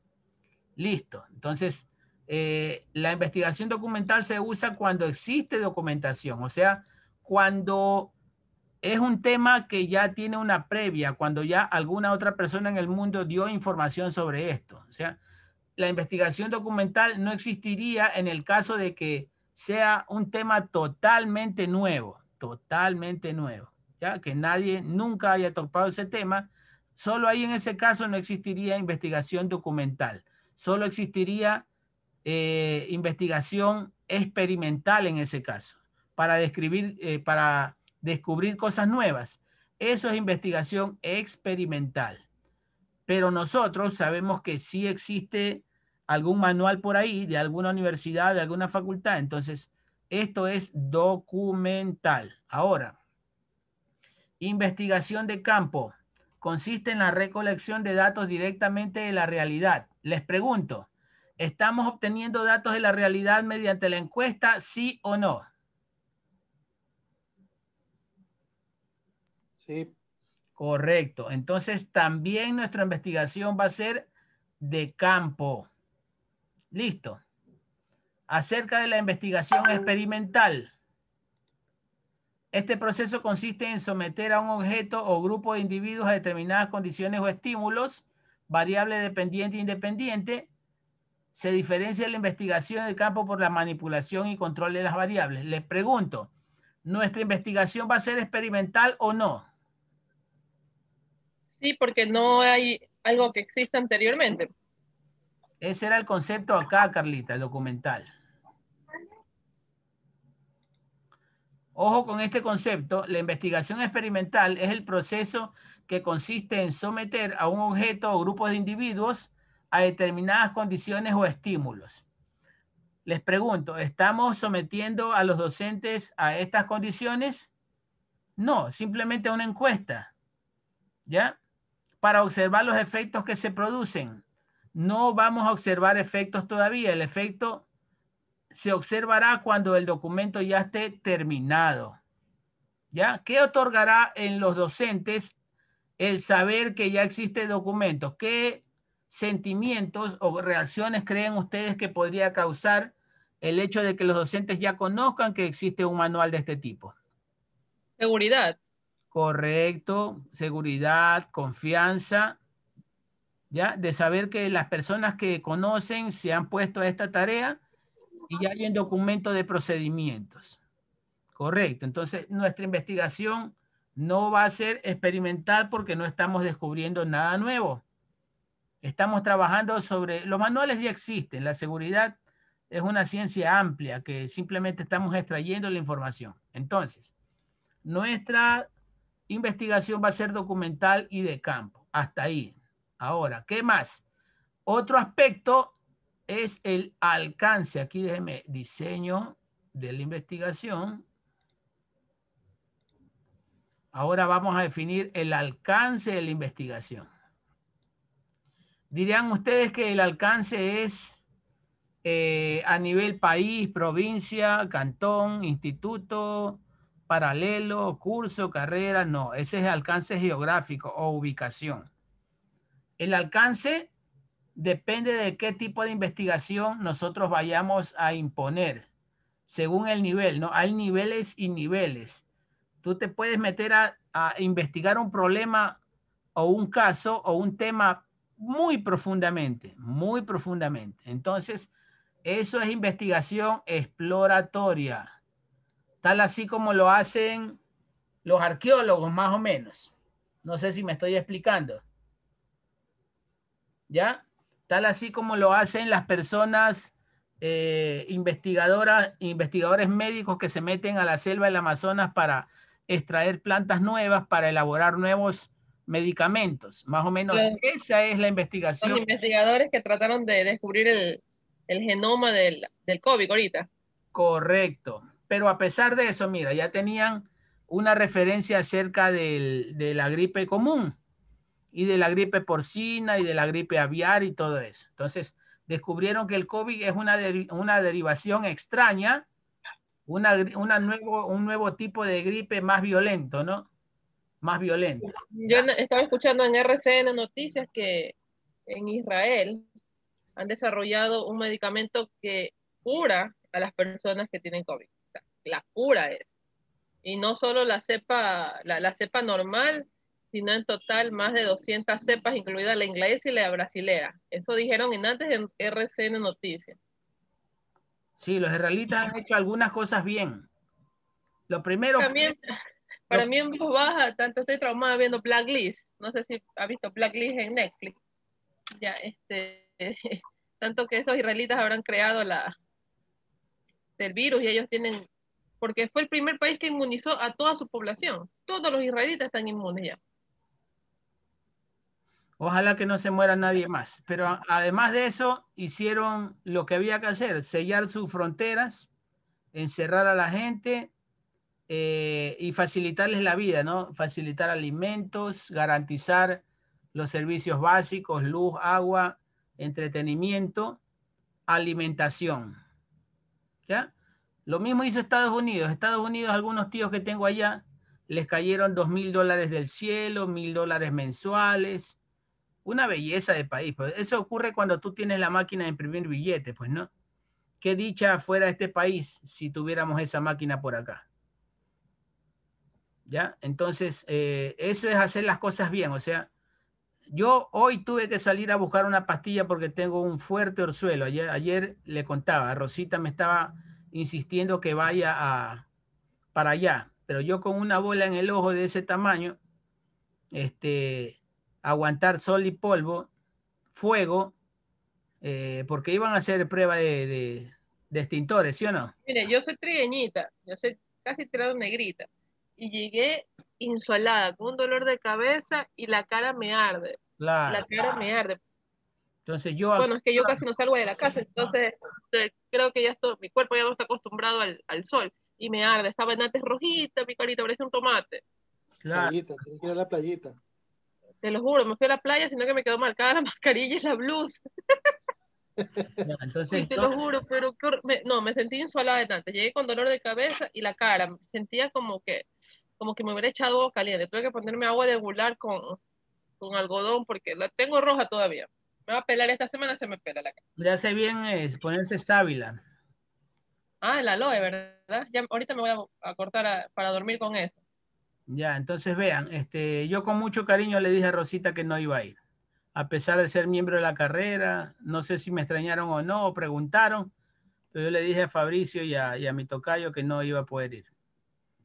A ver, entonces, estamos en mi- investigación exploratoria. También existe la investigación descriptiva, que consiste en la caracterización de un hecho, fenómeno o supo, esto no lo escribí yo, o supo con establecer su estructura o comportamiento. Ni idea de que lo- esta palabra, no sé qué hace ahí. ¿Ya? Por ejemplo, análisis de la población estudiantil universitaria, censos nacionales. Investigación explicativa. Se encarga de buscar el porqué de los hechos mediante el establecimiento de relaciones causa-ejemplo. Por ejemplo, indagación de las causas que generan la corrupción, estudio de los efectos de una estrategia de enseñanza sobre el rendimi- rendimiento estudiantil. Ahora, existen también técnicas e instrumentos para la recolección de datos. Ya nosotros utilizamos una, que es formato de cuestionario. Ya utilizamos una. ¿Ya? Podíamos haber preguntado mediante entrevista, pero la entrevista generalmente se hace con preguntas abiertas, como la que hicieron ustedes a la doctora. Esas son preguntas abiertas. Lista de cotejo es un checklist. ¿Correcto? Entonces, ahí, ¿no? Hasta ahí. Aquí vienen los datos ya de la recolección de los parámetros de la recolección de datos, que es una muestra, que es un muestreo. Pero principalmente tenemos que tomar atención a tres cosas. Cuando ustedes les pregunten qué tipo de investigación van a hacer, ustedes tienen que hablar sobre el enfoque, ojo con esto, el enfoque, el diseño y el alcance. Enfoque, diseño y alcance. Ojo con eso, ¿ya? y eso tiene que estar definido acá. Ya les muestro las diapositivas de mis, de mis cachorros. Ingeniero, dos consultas. ¿Qué hacemos, como le indicaban antes, con, con, el, con lo de María? Le volví a escribir y me dice, lo único, lo único que me respondió fue, tengo problemas con el internet, nada más. Yo le escribí, pero yo voy a un cyber cuando no tengo internet o le pido a un vecino, porque los primeros días de clase me tocó pedirle a un vecino aquí a dos casas para que me ayude con el internet a que vinieran a instalarlo. Informar. No nos toca más que informar, Carla. Claro, yo sé que tenemos que informar, pero la parte de ella hay que realizarla, pues, independientemente de ella vamos a informar que ella no lo va a hacer, no está colaborando, no está haciendo nada. Este, el, no es que se dice no, las tutorías, mire que lo mandamos en el grupo, o sea, y se escribe en el grupo, y ella no responde nunca nada, y tiene internet, o sea, está conectada, está chateando, está publicando estados, y que no puedas conectarte a, o por lo menos dar una explicación en el grupo por qué no estoy asistiendo a las tutorías, o por qué no he hecho mi trabajo si ya se lo mandé. Si usted estuviera, si usted fuera docente, tuviera ingreso a nuestras reuniones, uh, se moriría de coraje, Carla. Yo no alcanzo a comprender cómo cuando yo daba clases a las 7 de la mañana en Daule, todos los estudiantes estaban puntuales, sentaditos en su banca y en silencio, y hoy llegan tarde solo en dar un paso de la cama al escritorio. O sea, cuando era de madrugar a las 5 de la mañana, coger colectivo en aguacero, pisar lodo, caminar y llegar, sin desayunar, ahí estaban puntuales. Hoy, de la cama al escritorio, llegan tarde. 8 y cuarto, 8 y 20 se conectan. Así es. Así es. Mire, les estoy mostrando la metodología. Por ejemplo, esta investigación es realizada con enfoque mixto mediante el método deductivo utilizando la recolección de datos, esto nos sirve a nosotros, recolección de datos y su análisis también lo vamos a hacer al inicio y al final para su comparación objetiva. Al inicio y al final, ¿qué quiere decir? ¿Cuál es nuestro estado inicial? La incertidumbre de que no existe este documento, ¿sí o no? ¿Ya? El estado inicial es el grado de desconocimiento que nosotros vamos a averiguar mediante nuestra encuesta mediante nuestra encuesta estamos solo confirmando de que este documento es necesario. ¿Ya?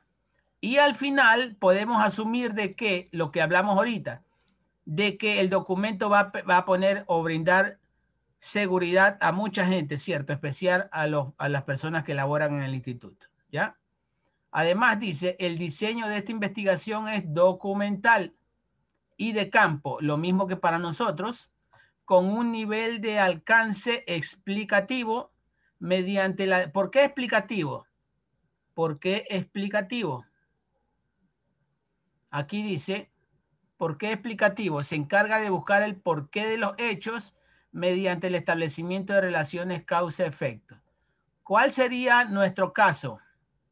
¿Cuál sería nuestro alcance? ¿O cuál sería nuestro nivel de investigación? Exploratorio, no lo es, ¿cierto? Porque lo exploratorio es sobre lo poco conocido. ¿Se dan cuenta? Como el COVID, como el, el, caso que establecía Carla. ¿Ya? Descriptivo. ¿Qué es lo descriptivo? Consiste en la caracterización de un hecho, fenómeno, con establecer su estructura. Esto me parece a mí que es lo que tenemos que hacer. Describir la necesidad de que exista este documento y también explicativo. ¿Qué sería lo explicativo? Se encarga de buscar el porqué de los hechos mediante el establecimiento de relaciones causa-efecto. También podría ser, entonces, para nuestro caso, sería con un alcance, con un alcance ¿qué? Con un alcance también explicativo, correcto. ¿Ya? ¿Qué más? alcance explicativo mediante la definición del nivel de importancia del estudio. Aquí también nos sirve esto, mediante el establecimiento del nivel de importancia de la existencia de este manual. Listo, chicos. Entonces, vamos a terminar con los objetivos específicos. Vamos a los objetivos específicos que están por acá arriba.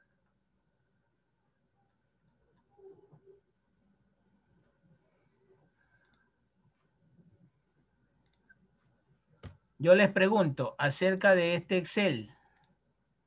A ver, por ejemplo, en la fabricación de la leche en polvo.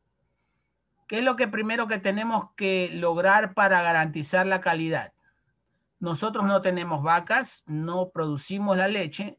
Entonces, el primer paso es comprobar la calidad de nuestra materia prima, de la leche que nos traen los ganaderos. ¿Listo? Segundo paso, cumplir con los valores nutricionales necesarios para una eficiente asimilación de nuestro producto. O sea, que la leche vaya a alimentar de verdad a los bebés.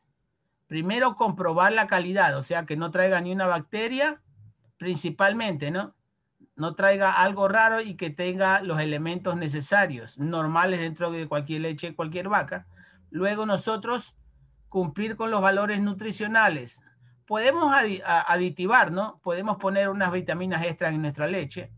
Y luego también, como tercer paso, mantener bajo los estándares aceptables según norma el grado de inocuidad. Inocuidad, ¿qué quiere decir? Que sea totalmente estéril, que no vaya a causar daño al estómago de los infantes. Entonces, ¿cuáles son los objetivos específicos que nos van a llevar a garantizar la calidad?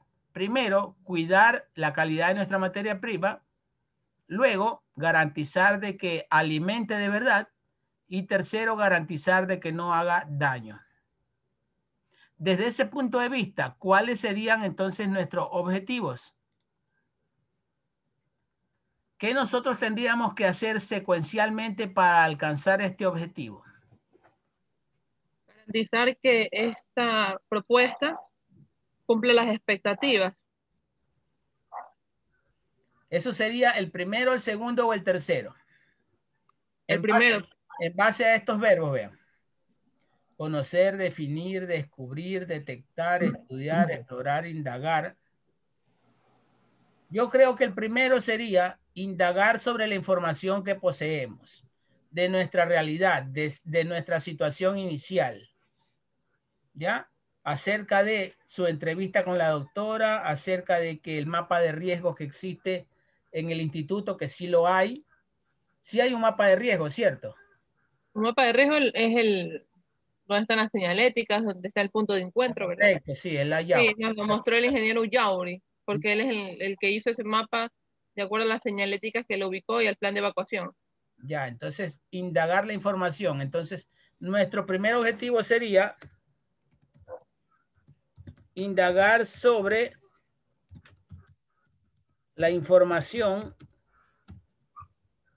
preexistente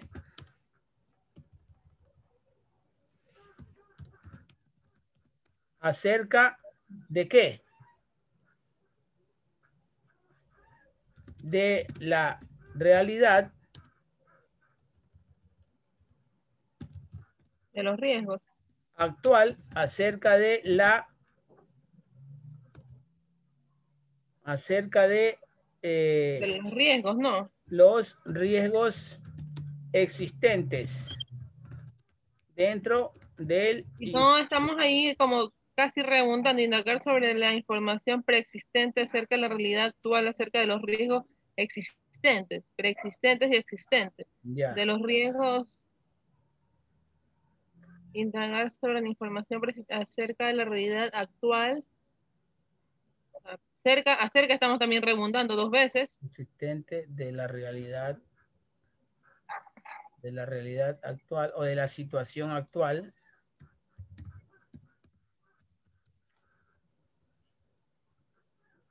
a indagar sobre la información preexistente de la situación actual acerca de los riesgos dentro del instituto.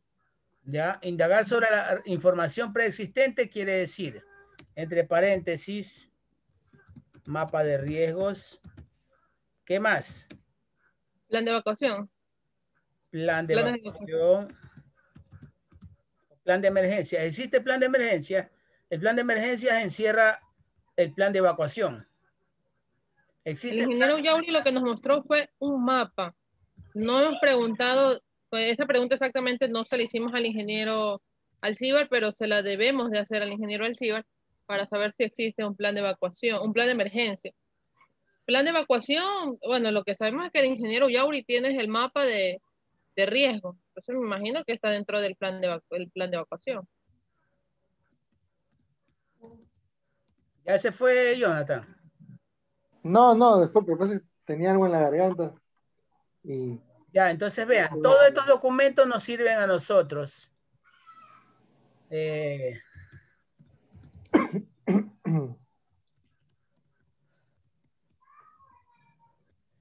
todos estos documentos creo que existen. Mapa de riesgos, plan de evacuación, control de emergencias. Control de emergencias es lo que ustedes vieron hoy día, ¿no? sí, ¿Ya? Plan anticatástrofes. Esto es, ese, ese plan anticatástrofes abarca o incluye el plan de evacuación. ¿Ya? ¿Qué más? Eh, ¿Qué más era? Las disposiciones del CNC, pero ¿quién se las pedimos? Eso debería, de- eso lo maneja que el rectorado o el vicerrectorado. Rosita tiene que tener eso. No, pero digo, al, al escribir información preexistente, nosotros estamos tratando de recabar esta información. ¿Ya? Y esto, esto lo vamos a poner en, el, en la conceptualización del primer capítulo, no, del segundo capítulo donde dice, este, donde se definen estos, ¿no? ¿Qué es un plan eh, de evacuación. Este es el capítulo que vamos a tener que hacerlo entre todos, porque yo María no le veo ganas. Vamos a tener que hacerlo entre todos. Con lluvia de ideas. No, esto se obtiene. Esto se obtiene de la red, los Sí, conceptos. pero claro, pero estoy hablando de que el, el capítulo vamos a tener que hacerlos entre todos con lluvia de ideas. Entre Ah. todos, por ejemplo, Jonathan, Nicole, si es que se une Jefferson, si es que tiene tiempo Jefferson y, y yo. Ya, objetivos específicos. Voy a poner que estamos editando. Entonces, plan de evacuación, control de, plan de control de emergencias, plan anticatástrofes, mapa de riesgos. Todos estos lo podemos definir acá, ¿no?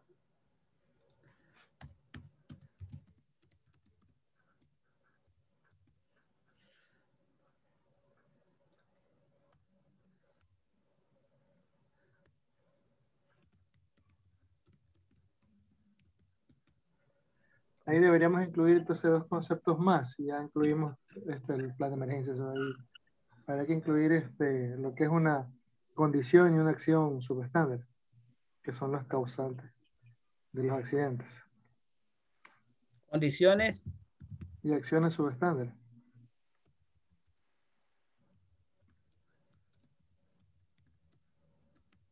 Entonces serían dos conceptos, condiciones subestándar y acciones subestándar.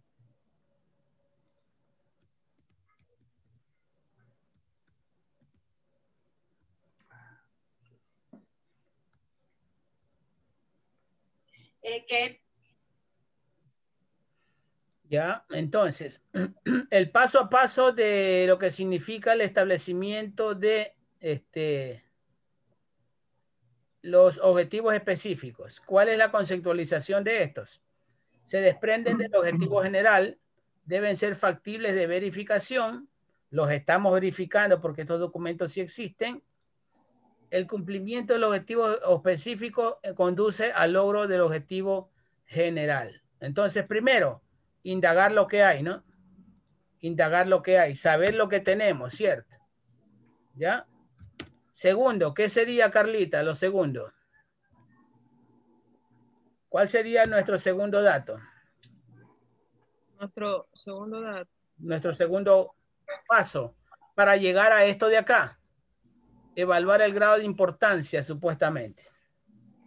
Conocer los procedimientos. Conocer las cifras de accidentes previos. Establecer, no. No, pues no tenemos esa No información. tenemos cifras, claro. No Pero tenemos sí. cifras. Pero sí sabemos que no hay un procedimiento, entonces conocer mm, Correcto. Establecer. Pero. Pero ojo, no podemos establecer conocimiento si no conocemos qué? El marco Legal. legal, correcto, el marco legal. Entonces, analizar, calcular, cal- cal- comparar, cuantificar, describir, diagnosticar, examinar. Examinar sería, examinar estaría bien, ¿no? Ajá. Relacionar o relacionar el marco legal. No, pues, examinar sería. Examinar, correcto. No podemos establecer un procedimiento si no conocemos la ley. Entonces, examinar el marco legal correspondiente acerca de la investigación de accidentes. ¿Ya? Y luego de eso, ¿qué? Ahí sí lo que dijo eh, Jonathan. ¿Qué nos da? Comprobar, determinar, determinar, ¿no? ¿Determinar qué? Determinar procedimientos, Determinar procedimientos. determinar los procedimientos. ¿Los procedimientos qué? A ver. ¿Para el reporte o para la investigación? Son dos cosas. Hay dos procedimientos. Los procedimientos a seguir. No. Con la palabra relacionados ya tú abarcas lo que tengas que hacer. ¿Ya? Los procedimientos relacionados a la investigación de accidentes laborales. Correcto. Entonces, primero, a ver, déjeme ponerle el numerito a esto. También, ahí está.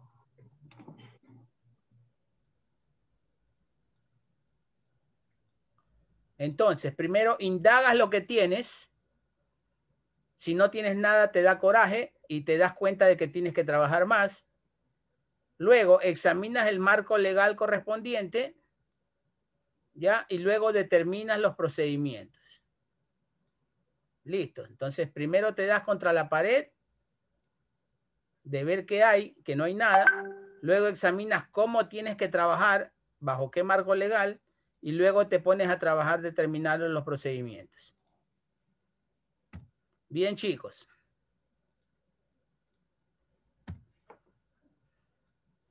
Entonces, hemos establecido rapidito los tres objetivos específicos y les envío esto de nuevo. Ya nos queda, ya nos queda eh, el, marco, el marco conceptual, ya lo pusimos, el marco referencial. Yo les pido, sí, a ver, ¿quién le corresponde a este capítulo 2? A María Ruiz. Wow, a nadie más. Y justo a ella le han dado el, el grueso de la investigación. El marco metodológico es lo más fácil que existe. El marco metodológico es esto, vean.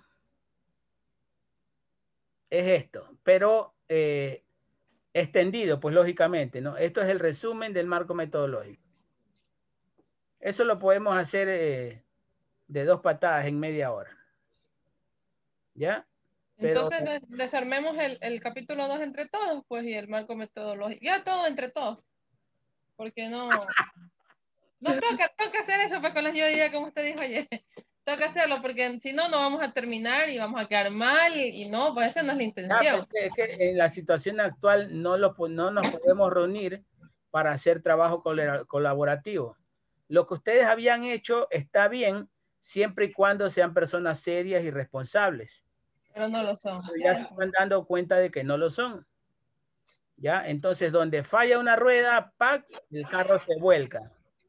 Correcto. Entonces, esa es la diferencia de lo que yo establecía ayer. Si es una manera de trabajar y si funciona de maravilla cuando todas las personas son comprometidas, responsables, comprometidas, consecuentes y todo eso. En todo caso, el otro camino también es válido, el del trabajo colaborativo, el de reunirse y todos opinar y sacar un documento de acuerdo a, a todos, pues no con el visto bueno de todos. ¿Listo? no tenemos que hacerlo con lluvias de idea, ingeniero, porque si no, no vamos a terminar. Y el importante es que todos quedemos bien y que logremos nuestro objetivo final. Bueno, esto, esto sí le voy a pedir a, ya le voy a escribir a María. Eh, voy a grabar esto y le voy a este, eh, decir que tiene que investigar estos conceptos y ponerle la, ¿cómo es? La cosa es que como que no me, no me atendió la clase, no, no va a saber ni cómo poner una, una cita. Pues. Y le escribí, le dije, el ingeniero tiene dos días, hemos estado en clase, le pregunto, ¿tú ya sabes cómo hacerlo? ¿Lo estás haciendo? ¿Estás adelantando? Y me dejen visto, nada más. Lee los mensajes y no los contesta. Ya, ya le escribo. Pero de todos modos quiero que ustedes este, tomen muy en cuenta estos conceptos. Ya le voy a escribir si no me responde esta mañana, tocará ver cómo nos arreglamos. Pero ya por lo menos usted, usted, Carla, ya, ya, ya lo suyo está en la ceja al ojo, el, el, primer, el primer capítulo. ¿Ya? Hemos Hoy de madrugada me pongo, me pongo a adelantar y mañana usted me corrige si me estoy equivocando en algo. Ya, mañana lo leemos entre todos, pero mañana nos reunimos de nuevo, no hay problema. Ya. Dale. Tenemos que reunirnos los dos días, no, no podemos salir de la esquina. Para la, sí, sí. Para las 7 de la noche. Con una cervecita. Con una cervecita. ¿Qué no sería? Y lejito por Zoom. Vengan a mi casa que acá tengo whisky, les diría yo. Le caemos el sábado, ya le caemos el sábado. Ah, ya. No podemos. De hecho, yo le mando ubicación. Ya, perfecto. El sábado nos le caemos. ¿ah? Ya, entonces, mañana que es viernes, aquí, 7 de la noche. Y el sábado en vivo y en directo. Ya, positivo. lo que pasa es que yo, tengo clases de inglés de noche todos los días, de seis y media a 8. Estoy en el Ah, módulo entonces, 2. Ocho y media los espero aquí. Ya. Hecho, entonces. Le voy a volver a mandar este documento. Ingeniero, ingeniero, como a las ocho y media le esperamos a Jonathan, se- conmigo puede ser desde las siete y media para que vayamos adelantando. Yo voy a ir adelantando hoy, hoy de madrugada, porque de madrugada es que yo puedo trabajar, porque mi hijo está dormido hora. Ya, no hay problema. No hay problema. Para, ir- para que vayamos adelantando el capítulo 1 y vamos corrigiendo si me estoy equivocando en algo. Sí, cómo no. Ya, y con Nicole también, porque la veo entusiasmada, pues Nicole casi no me dejó ni hablar hoy día. No la Sí, veo. claro. De ¿Sí o no, Nicole? este, No, nada que ver. ¿Y ¿Cuál es la parte de Nicole? La 4. Lo último. Ah, ya. Bueno. Eso no es nada, pues no, no le han dado, le han dado que los anexos. Entonces, que haga la dos, pues. Con usted. Nicole, ayúdeme, Nicole, con la parte, la segunda parte, que ustedes sí estaban en clase. Y si es Entre que. todos la vamos a si es ayudar, que- porque si es bastante, entonces, Claro, sí, así, así como hoy día trabajamos todos, pues y, y vamos. todos estamos armando el capítulo, entonces mañana todos armamos el 2, de ahí todos armamos el 3, y ya para el martes ya te- terminamos. Hacemos las diapositivas entre martes y miércoles, el jueves terminamos, y el viernes lo entregamos y solo ensayar la sustentación. Listo. Belleza, ya, la- ya está programada. Dice el mexicano, ya rugiste mi tigre. Ahora que rujamos frente al jurado calificador, perfecto. Bueno, Ingeniero, una pregunta. El día de la sustentación, ¿qué? ¿Lo hace todo el grupo? ¿Cada uno lo que le tocó o solo un, uno del grupo? eso ya lo voy a preguntar. Sí, porque antes tampoco sabían los chicos de los otros grupos y todos nos estábamos haciendo esa pregunta. A mí me gustaría que expongan todos porque ahí se ve quién es quién, quién ha trabajado y quién no. Claro, de verdad. Verdad es. Bueno, niños, mañana los veo 7 pm por la por el mismo Siete y canal. media, siete y media. Bueno, 7 y media. Ok. Ya, gracias, ingeniero. Hasta mañana. Ok, hasta mañana, gracias. Gracias, Nicole. Ingeniero. Gracias.